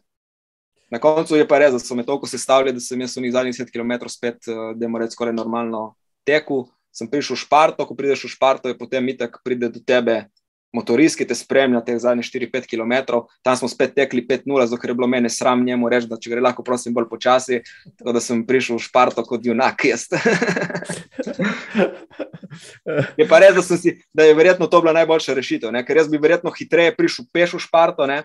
Si pa noben ne želi priti peš v Šparto. Ne? Skoraj raje izgubiti 48 minut, pa v Šparto pritečno.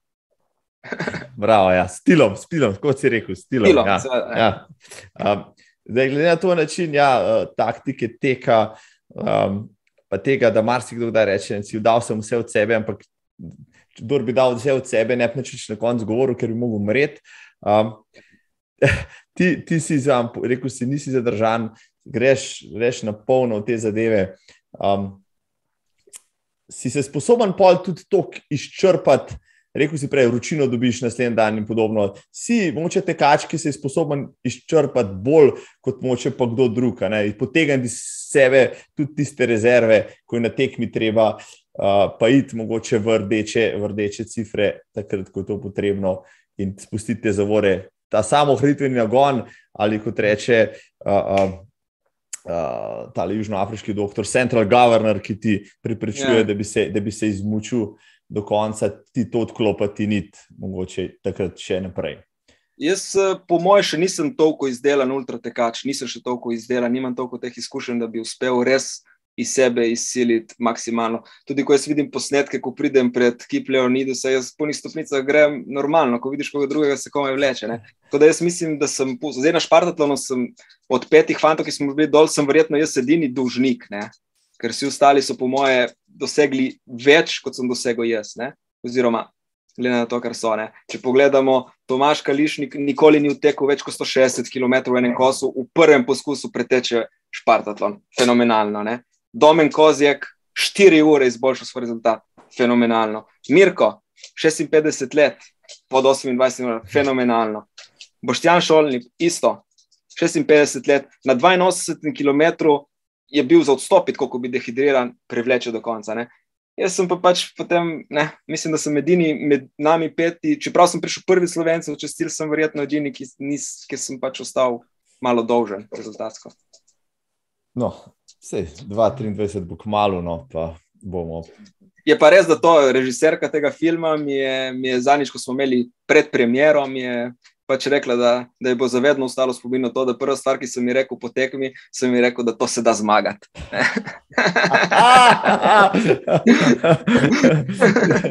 no, evo, če, če je pa kaj, ne, uh, smo pa prav veseli tega, da niso vsi tekači tam zunaj preveč skromni, mogoče včasih uh, tudi lažno skromni. Evo, ti, sigurno nisi ti, ti greš direkt, kot si rekel, iz prve, iz trliš tisto, kar želiš.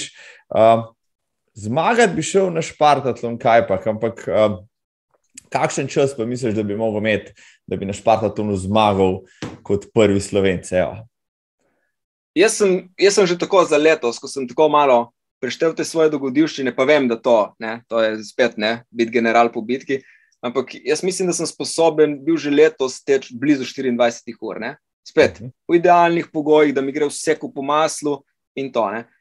Jaz mislim, da za zmago odvisno od leta, ne? ampak načeloma 23 ur je za zmago na Špartatlonu že dovolj. Ne? Zato pa tudi drugo leto ne gre na Špartatlon, šel 2-23, da še malo potreniramo. A, ja, se je simbolika, mora biti. Ja, leto 23, 23 ur lete. Ja, to, to, Če čisto ja. realno pogledamo, ne, je, je večja verjetnost, da jaz zmagam Špartatlon, kot da poprečen slovenec zadene na loteriji. Ne? Pa vseeno igrajo loterijo.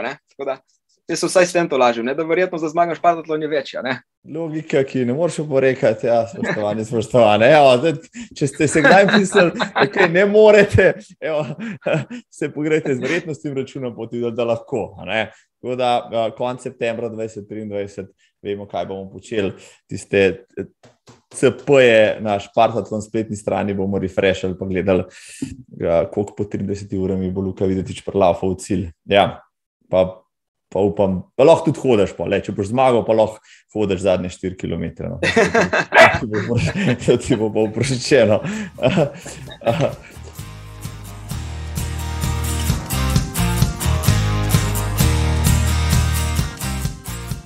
Vrhunsko, vrhunska sezona je za tabo, um, pravi Špartatlon, uh, državni rekord na 12 ur državni naslov. Uh, govori se tudi o tem, da bi enkrat rad kakšen svetovni rekord podaril, ampak ti svetovni rekordi niso več taki, kot so bili recimo še v mravletovih časih. Mi, mi drugim, no, mravlej je bil star 37 let, kot se ti zdaj, ko je postavil državni rekord na 24 ur, to je 256 km. Um, ja. Ta rekord je najbrž dosegljiv, vsaj za te, glede na to, v kakšnem, v kakšnem uh, zagonu si, čeprav tvoj rekord na 24 ur je kar precej slabši še zaenkrat. Ja, mislim, osebni rekord je trenutno 234 km. Ne? Mhm. Pogoji so bili, kakšni so bili, mislim, da še kakšen kilometr bi lahko dodal, že danes. Ne? Je pa res, da pač, ne, če pogledamo, kakšno poprečje treba odteči za narediti državni rekord, se mi zdi mogoče. Mislim, na konec koncev so nam pokazali, kje so meje. Meje je 309 km. Trenutno, ja, tako. tako. Ja, ja. tako da, meje, so, meje so trenutno bistveno više, kot so, kot so pri nas. Zdaj, ali je to dosegljivo ali ni, ne vem. Ne? Se bom pa vsekakor potrudil, da to dosežeš. Jaz bi rad odtekel 260 km v naslednjem letu. Ne? Zdaj, nekako sem si zadal nek plan, nekako imam v glavi in vem, kaj moram narediti. Zdaj, če se bo to zgodilo, se ne bo, ne vem, ne? če se ne bo zgodilo, spet ni tragedija, ker imam še kakšno leto. Ne? Če pa pogledam neko statistiko tekačev pred mano, tudi če pogledam dušo na mrovljeta. Moja prva dva nastopa na 24 ur so bistveno boljša kot njegova prva dva nastopa na 24 ur. Ne? Moj eh, nastop je tudi boljši kot je od Soroki na prvi nastop na 24 ur, ali pa Tamasa Bodisa, ki zdaj odteče 280 km skoraj. Tako da v tem jaz vidim neko spodbudo in neko teho, da je mogoče in da štartam tam, ker so štartali tudi ti ljudje, ki so bistveno boljši zdaj. Jaz verjamem, da verjetno imajo več talenta, kot ga imam jaz. Ne? Jaz uh, s trdim delom lahko nadoknadiš samo neko mero talenta. Ne? Ampak dokler sem pripravljen trdo delati in teč in vse te stvari, ki so okoli tega, tega se pravi, izboljšati, ne? jaz nisem sposoben iz svojega telesa eno stvar izboljšati za 70% smo pa sigurno jaz, nekaj stvari, ekipa okoli mene, ki mi pomaga, smo pa sposobni 70 stvari izboljšati za en procent. In ko potegnemo črto, je to isto. Ne?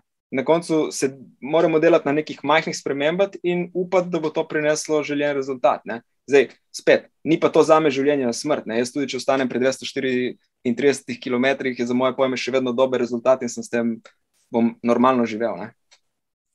No, ja, ampak glede na pokazano, ja, bi, bi bilo fajn no, narediti kakšnega več, še kaj pa ne. Ja, mislim, 234 je tako čudna številka, pa poprečje ni niti 6-0 na kilometr. 6-0 je točno 240. Ja, ja se je zato, no, tako da tle, tisto šest, ko moraš upraviti. Veliko meniš svojo ekipo.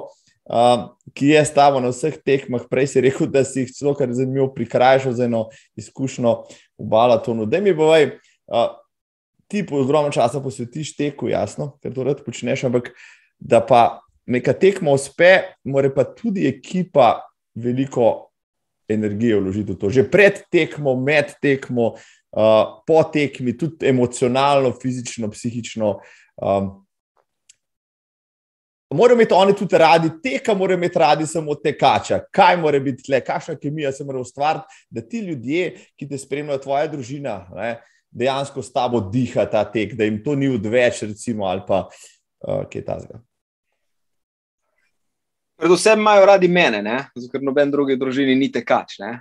Po drugi strani pa mislim, da oni predvsem vidijo trud, ki ga jaz uložim v to in pač tek cenijo čez to, ne? čez ta objektiv mojega truda. Ne? Zdaj, starši so starši, ne? načeloma karkoli delaš, načeloma podpirajo, ne? sploh če je to nekaj zdravega in s tem ne škodiš nobenemu. Ne?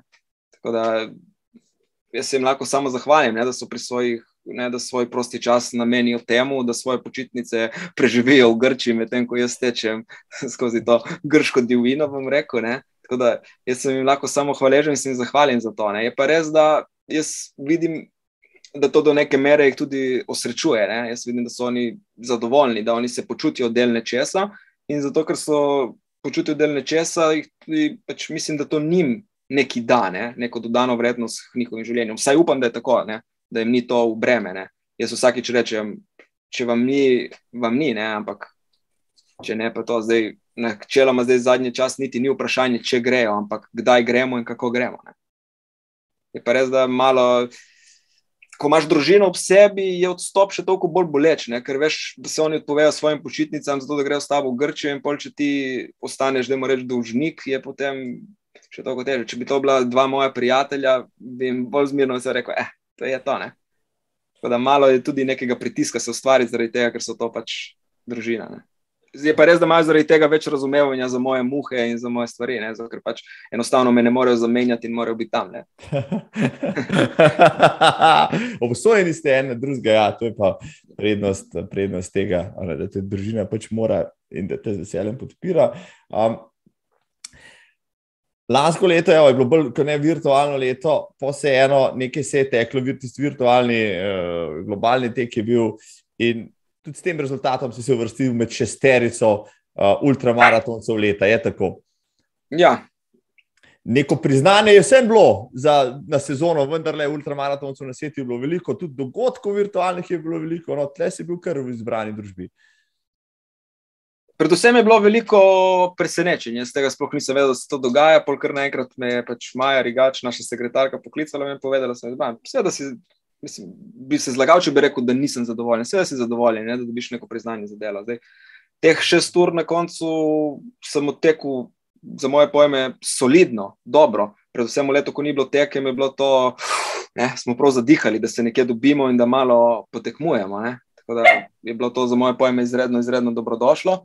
Sploh tistih šest ur, ko smo tekli takrat pri, v bistvu pri živalskem vrtu v Ljubljani, če se prav spomnim, je bilo v bistvu dober mesec pred Špartom, takrat smo še vsi verjeli, da gremo, da gremo v Šparto, da to neke zadnje priprave, neka zadnja družba. Je pa potem Šparta, mislim, da dva dni, torek, mislim, da je odpadla, mi smo to tekli v soboto, nedeljo, torek je potem vse skupaj odpadla. Hvala Bogu, da je bila. Ja. Dobro, da je dva, tri dni prej, ja. Ja, potem ja, se tam zapil, pa ne bilo nič iz. ne pijem alkohola, to da niti v tem nisem dober.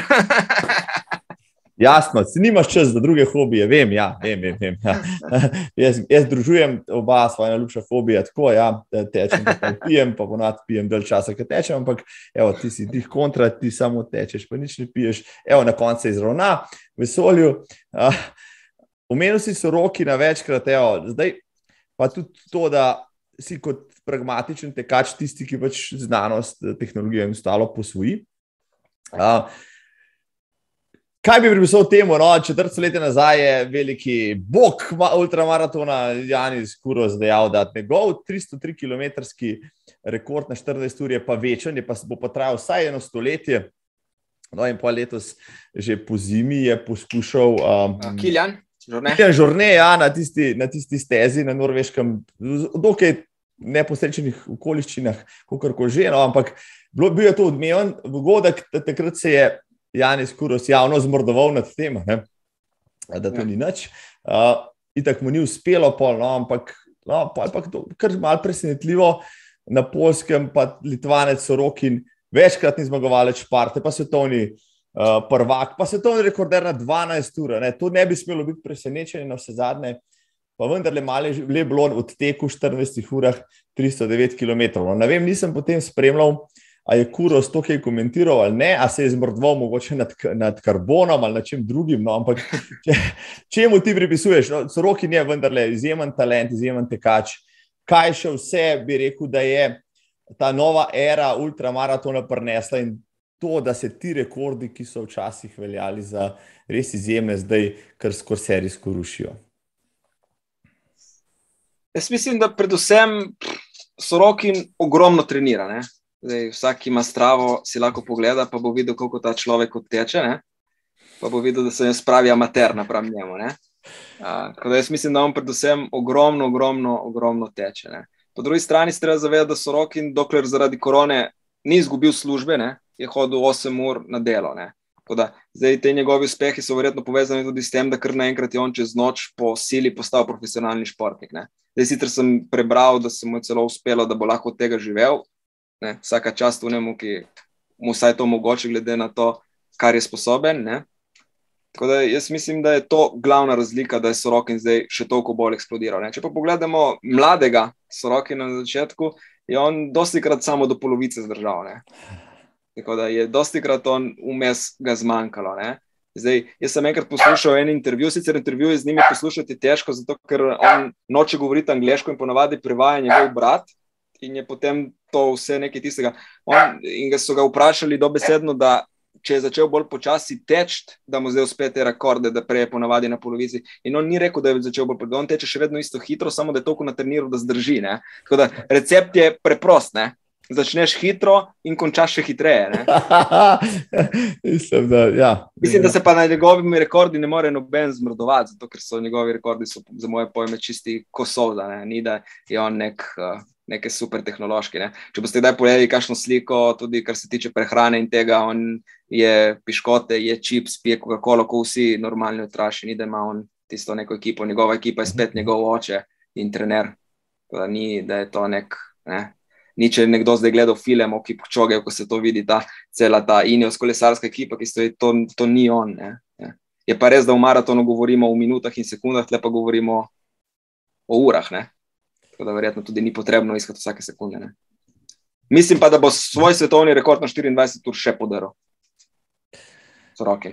To je, da je čisto na hitro preračunati. No? 309 km v 14 urah je koliko minut na kilometr? Uh, 4,45. 4,45. Uh, 24 ur.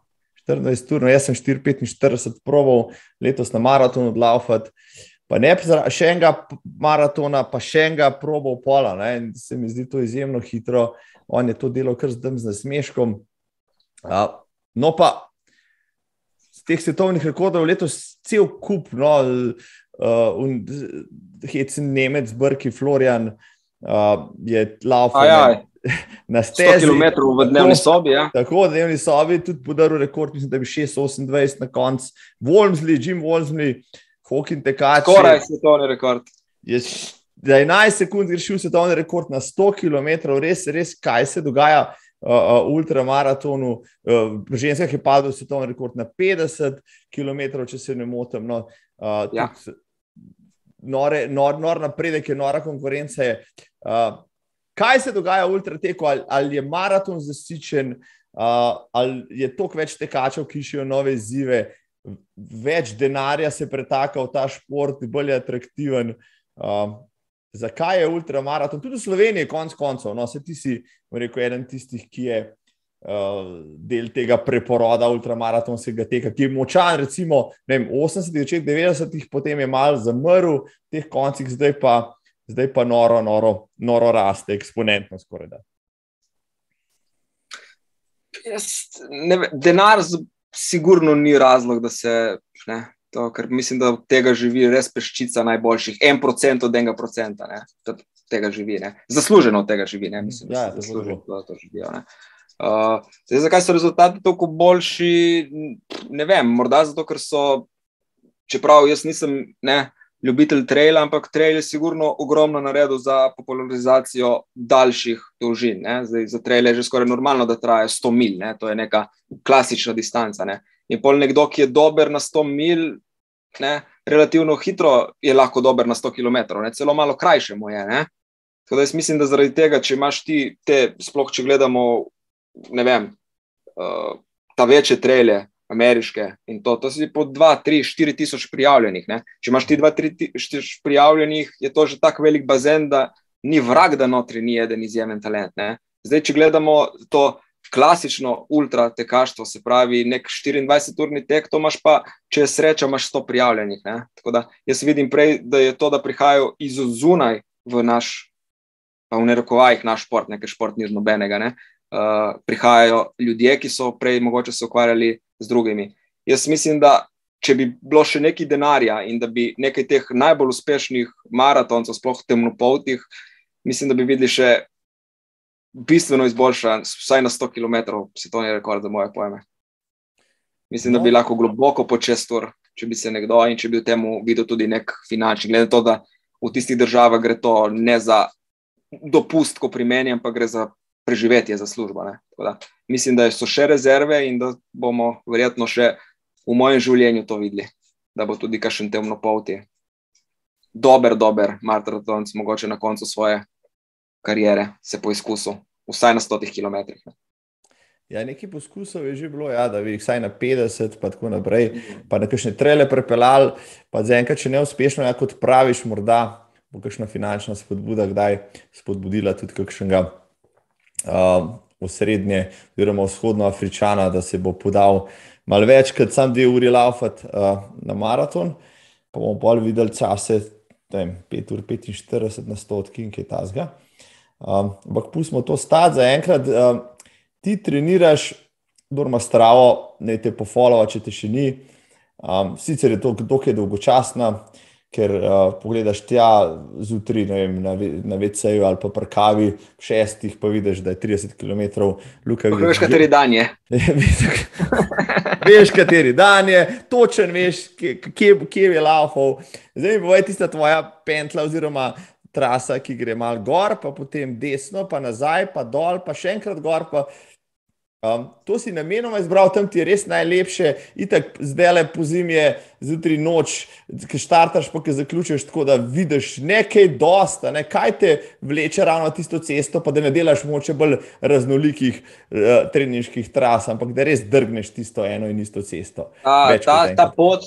Ta pot, ta cesta je postala aktualna sicer za priprave za Špartatlon, ki je v 30 km, je lih toliko višincev, kot jih je v 30 km, če razdelimo špartatlo. To je bilo čisto, čisto namensko. No. Cesta gre non-stop malo gor, malo dol, malo gor in je izredno, izredno podobna temu prvemu delu uh, špartatlo. Tako da tisto. Pol pa, pač, enkrat, meni je tako vseeno, kje tečem. Jaz ne vem, nisem nikoli rekel, da grem teč nekam, zato da bom gledal razglede. Nisem, priznam, da nisem tak. Ne. Jaz že, če si privoščim, si privoščim nedeljsko bonifiko, ki je spet dolgočasno, ker se teče v krogore. No, tako je, ne se tako že vprašati, da se kdaj dolgočasiš v tem, rekel ne, notranja lepota teka me napaja vse čas. Da, um, kaj pa, poslušaš kakšno musko vmes, ali kaj tazga, podcaste, ne, ali uživaš v tišini noči, jutra? Ali... To je zdaj To je zdaj čisto odvisno. Ne? So jutra, ki sem v tišini in rešim vse težave sveta, so jutra, ko ne razmišljam nič. Včasih sem izredno dosti knjig, bom rekel, prebral, čeprav sem jih preposlušal, poslušam podcaste, kar še enkrat tudi glasbo, tako da čisto mešano. Ne? Dosti krat je pa tudi sama tišina. Zdaj. Na Špartatlonu ni nič dovoljeno, tako da pri Špartatlonu dober mesec nisem poslušal nič, sem se navajal biti pač sam sabo toliko časa ker mislim, da vsaka taka malenkost potem malo pomaga. Če ti navajaš neko glasbo, te lahko že to spravi stira, da je potem se tam v tišini. Tako da čisto mešano. No. Poslušam karkoli, še enkrat pa tudi nič. Nekaj še enkrat si dan tudi slušalke, ko grem na Bonifiko, pa nič ne poslušam, samo zato, da se kdo ne govori z mano, ne priznam. Taktično, ja, modro, seveda, ja, pragmatično tudi. Um, uh, povej mi, Luka, um, delaš v, avto, v avtocentru, pa tja hodiš s kolesom, kako to? Prvo zato, ker pa če živim na dizelu imam 6 km do službe. Ne? In se mi zdi to najbolj racionalna zadeva na svetu, da se vozim v službo s kolesom. Ne? Pač nekaj naredim zase, kolesarstvo imam rad, kolesarstvo tudi spremljam kot šport, tako da je to itak v vsakem primeru. Avtomobile imam jaz grozno rad. Tehnologijo. S tem, da moja ljubezen do avtomobilov se je končala tam na začetku 90-ih, to, kar je po 90-ih, me ne zanima, da bom raje nekaj starejša avtomobila, zdaj ta elektrika in to, to je meni čisto mimo. Uh, tako da pač, vozim se s kolesom, čisto, pač se mi zdi najbolj racionalna odločitev, ki jo lahko naredim. Ne. Naredim nekaj zase, pač, uživam v tem, poleti je malo toplo, po zimi je malo mrzlo, vmes je pa čisto urejeno. Ja, v bistvu, ja, no, tudi, tudi to se da videti na tvoji stravi. Ve, da se določiti, kaj si odtekel ti dan, kjer dan je, kot si rekel. Um, a si imel gumi defekt na kolesu ali ne, ali a si imel namazane ležaje. Vse, vse to se vidi, ne, ker vse zabeležiš. Uh, Se pravi, nikoli nisi tako utrujen, recimo, da po teku jutranjem se pa ne plošču sedel še na kolo, pa spustil, pa spustil na šiht, pa bi se, pa bi se raj pustil peljati.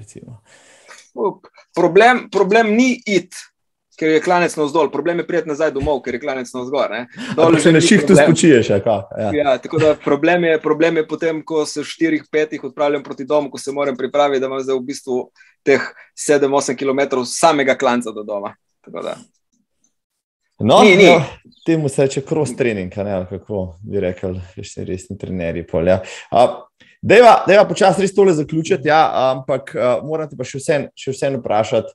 Um, tam zunije te ultramaratoni rastejo. So tradicionalni, uh, dolgoletni, ki jih pač vsak želi odlaufati, so novi, ki rastejo, ko bojo podežil. Kaj pa na tvoji bucket listi, da bi pa odkljukal še, pa še nisi, ne vem, uh, bad water, uh, ne vem, kakšen trans, ne vem kaj. Pa, jaz zdaj, naslednje leto sem se že tako čisto odločil, da bom tekel večinoma v krogu, ali bo to 24 ur, ali bo to 12 ur, ali bo to 6 ur in pač en velik krok okoli Blatnega jezera, ampak spet smo v krogu. Ne? Tako da meni se zdi ultramaraton, da se mi zdi, da je neki res uno. Esenca tega je pač 24-urna tekma. Pač to je za moje pojme, to je to, ne? za nekoga kot sem jaz. Ne? Tako da se bom, jaz sem se nekako odločil, da se bom večinoma temu posvetil. No? Zdaj, špartatlon ostaja špartatlon, to je velika ljubezen, to je dogodivščina in bom hodil na špartatlon. Zdaj, neke druge od točke A do B, ne vem, ne vem niti, če si želim. Badwater, seveda, vsak mislim, da bi rad šel. Ne? Samo če pogledam, koliko moram vložiti truda, denarja in tega, zdaj tu Badwater, skoraj, skoraj si rajši privoščim en drugi projekt in pretečem celo Evropo ne? za isti denar. Ne? Pretečem od Nordkapa pa do Lizbone. To je pa tudi ena velika želja, ne? da bi to pač solo odtekel brez nobenega. Sveda, treba pogledati, kaj se jim splača. No? Se pravi, Mislim, kaj si res želim. Zdaj, če, če grem na neko tekmo, samo zato, da naredim kljukico, za moje pojme, nima smisla. Ne? to narediti. Zdaj, skoraj, skoraj rajši naredim nekaj za dušo in pač tekmujem tam, ker se počutim bolj doma, se pravi, nekje v krogu, možgane na off in pač samo tečeš, tečeš in tečeš in tečeš. Um, da zaključiva ta naj odličen pogovor, evo, Luka, bilo mi je v časti in veselje. Um, nedvomno so pred tabo še rekel, veliki uspehi, predvsem zaradi tega, ker imaš res rad uh, tisto, kar počenjaš. Um, kdo je za te morda največji ultraš vseh časov, bi, ali pa največji trije, recimo, ne, da te ne bom spravil za drego, pa kam bi ti, recimo, rad posegel še v naslednjih desetih, dvajsetih letih. Kaj povem? Zdaj, če pogledam svetovno, je sigurno trenutno številka ena sorokin. On mi je tudi tako simpatičen, fantina in to, in ne morem, ne, ti more biti všeč, ne, sorokin. Zdaj, v tem trenutku sorokin ti mora biti všeč. Drugače sem velik ljubitelj, pa da bo bila, pa tudi če ne, s Kamil Heron, recimo, je, njen stil tekmovanja je meni nekaj najlepšega. Ali je svetovni rekord ali pa je odstop. Ne? To je za moje pojme nekaj najlepšega, kar lahko človek naredi. Ne? Ali je svetovni rekord ali pa je odstop. Ne? Tako da to sta dva nekdo, ki sta mi mogoče res, res, res všeč. Sem pa postal, zdaj ko sem ga tako gledal, tudi velik ljubitelj Tamasa Bodi, samo verjetno ni na teh istih tako dober, ampak se mi zdi tako res, tudi, da ima nek tak stil tekmovanja, ki je tudi vse ali pa nič. Da ta sta, da moramo reči, če gledamo svetovno. Drugače, če pogledam tle domače, domače tlo, je sigurno, da Mirko kot mentor, mislim, da je ogromno naredil. Nataša Robnik, ker je po mojem za slovenski ultramaraton naredila več, kot mi, fanti, vsi ostali skupaj, ne? pa mislim in rezultatsko, in človeško, ona je izredno pozitivna, vedno pač nek nasvet da in mislim, da tudi z nekega človeškega vidika je sigurno številka ena, kar je naredila za slovenski ultramaraton in drugače pač seveda Boris, ki je vse, Boris Ivanovič, ki je v bistvu pri meni vse to sprožil, da sem se sploh začel s tem resno pomislil, da bi sploh kaj takega naredil. Pa bi lahko še, še in še in še izpostavljal te ljudi. Zdaj, velika zadeva, ki se je v Sloveniji zgodila, če lahko če to se samo dotaknemo, je severno Akus, ne. Atletski klub Ultramaraton Slovenije, ki mislim, da je izredno, izredno, izredno pozitivna zadeva, ki se je zgodila. Pač se postavljajo temelji za oni, ki bodo prišli za nami, da jim bo mogoče malo bolj lažje, da bodo znali kakšno stvar, ki smo jo mi mogoče že na robe naredili, da bo lahko kdo komu povedal, kaj je bilo. Ne? Jaz imam že to srečo, da sem prišel k nekam in da so me te ljudje že nekaj naučili. Ne? Če pogledamo staršina, zdravko čufar ali pa Miro Režonja, ki so bila prva po mravljetu na, da jim reč, Špartatlonu in so verjetno ona dva začela to novo špartatlonsko slovensko obdobje. Da, mislim, da probamo narediti neke temelje, da se mogoče zdaj nekje to posluša nekdo ne? in bo morda bil to naslednji dušen mravljene. Ja, točno to, vidiš, da si nek, nek mladenič, nekje v nekih rotah, bo slušalkami na uh, ušesih tekel v nedeljo, poslušal tale podcast, uh, šel dan po, po Luko Videtiča, uh, pogledal vse tvoje videe, pa vse tvoje intervjuje. Si zapisal vse tvoje rezultate, pa rekel, tega človeka mi je enkrat premagal, da ne bo tako prekleto samozavesten. Ja. Uh, pa da hecam se, težko, težko delamo, bo vsak tisti vel, ki te bo želel premagati. Si uh, odličen tekač, super sogovornik, govoriš kot daš, uh, si rekel, filozof in tudi mal poeta, nekje si dejal, da je uh, ultramaraton tretjino pretečen s telesom, tretjino z glavo, ta zadnjo tretjino pa s srcem in, in, in voljo, no, ti še ne brž izmer ustrajaš pri tej svoji trditvi. Sigurno, sigurno, sto procentno. Telo naredi, ne, telo ti natreniraš in bo delalo. Ne. Samo če nima stvari razčiščene, prvo v glavi, zato da veš, da zmoreš in da sam sebe, svoje telo prisiliš v to, in drugo, moraš imeti neko izjemno željo, si moraš želeti. Ko gre človek čez 200 km na neki tekmi, ga goni naprej samo še želja. Ne? Želja po tem, ali da sebi dokaže, ali da drugemu dokaže, da je nekaj mogoče. Sam cilj, dosti krat, ni dovolj velika želja, ne? mora biti še nekaj od zadaj, ne? neko lastno dokazovanje, neko lastno premagovanje lastnih mene, ki verjamem, da jih ni. Meje si postavimo ljudje sami, ne? zato da ne mogoče v kakšnem trenutku lažje, ne? ko nekaj dosežemo.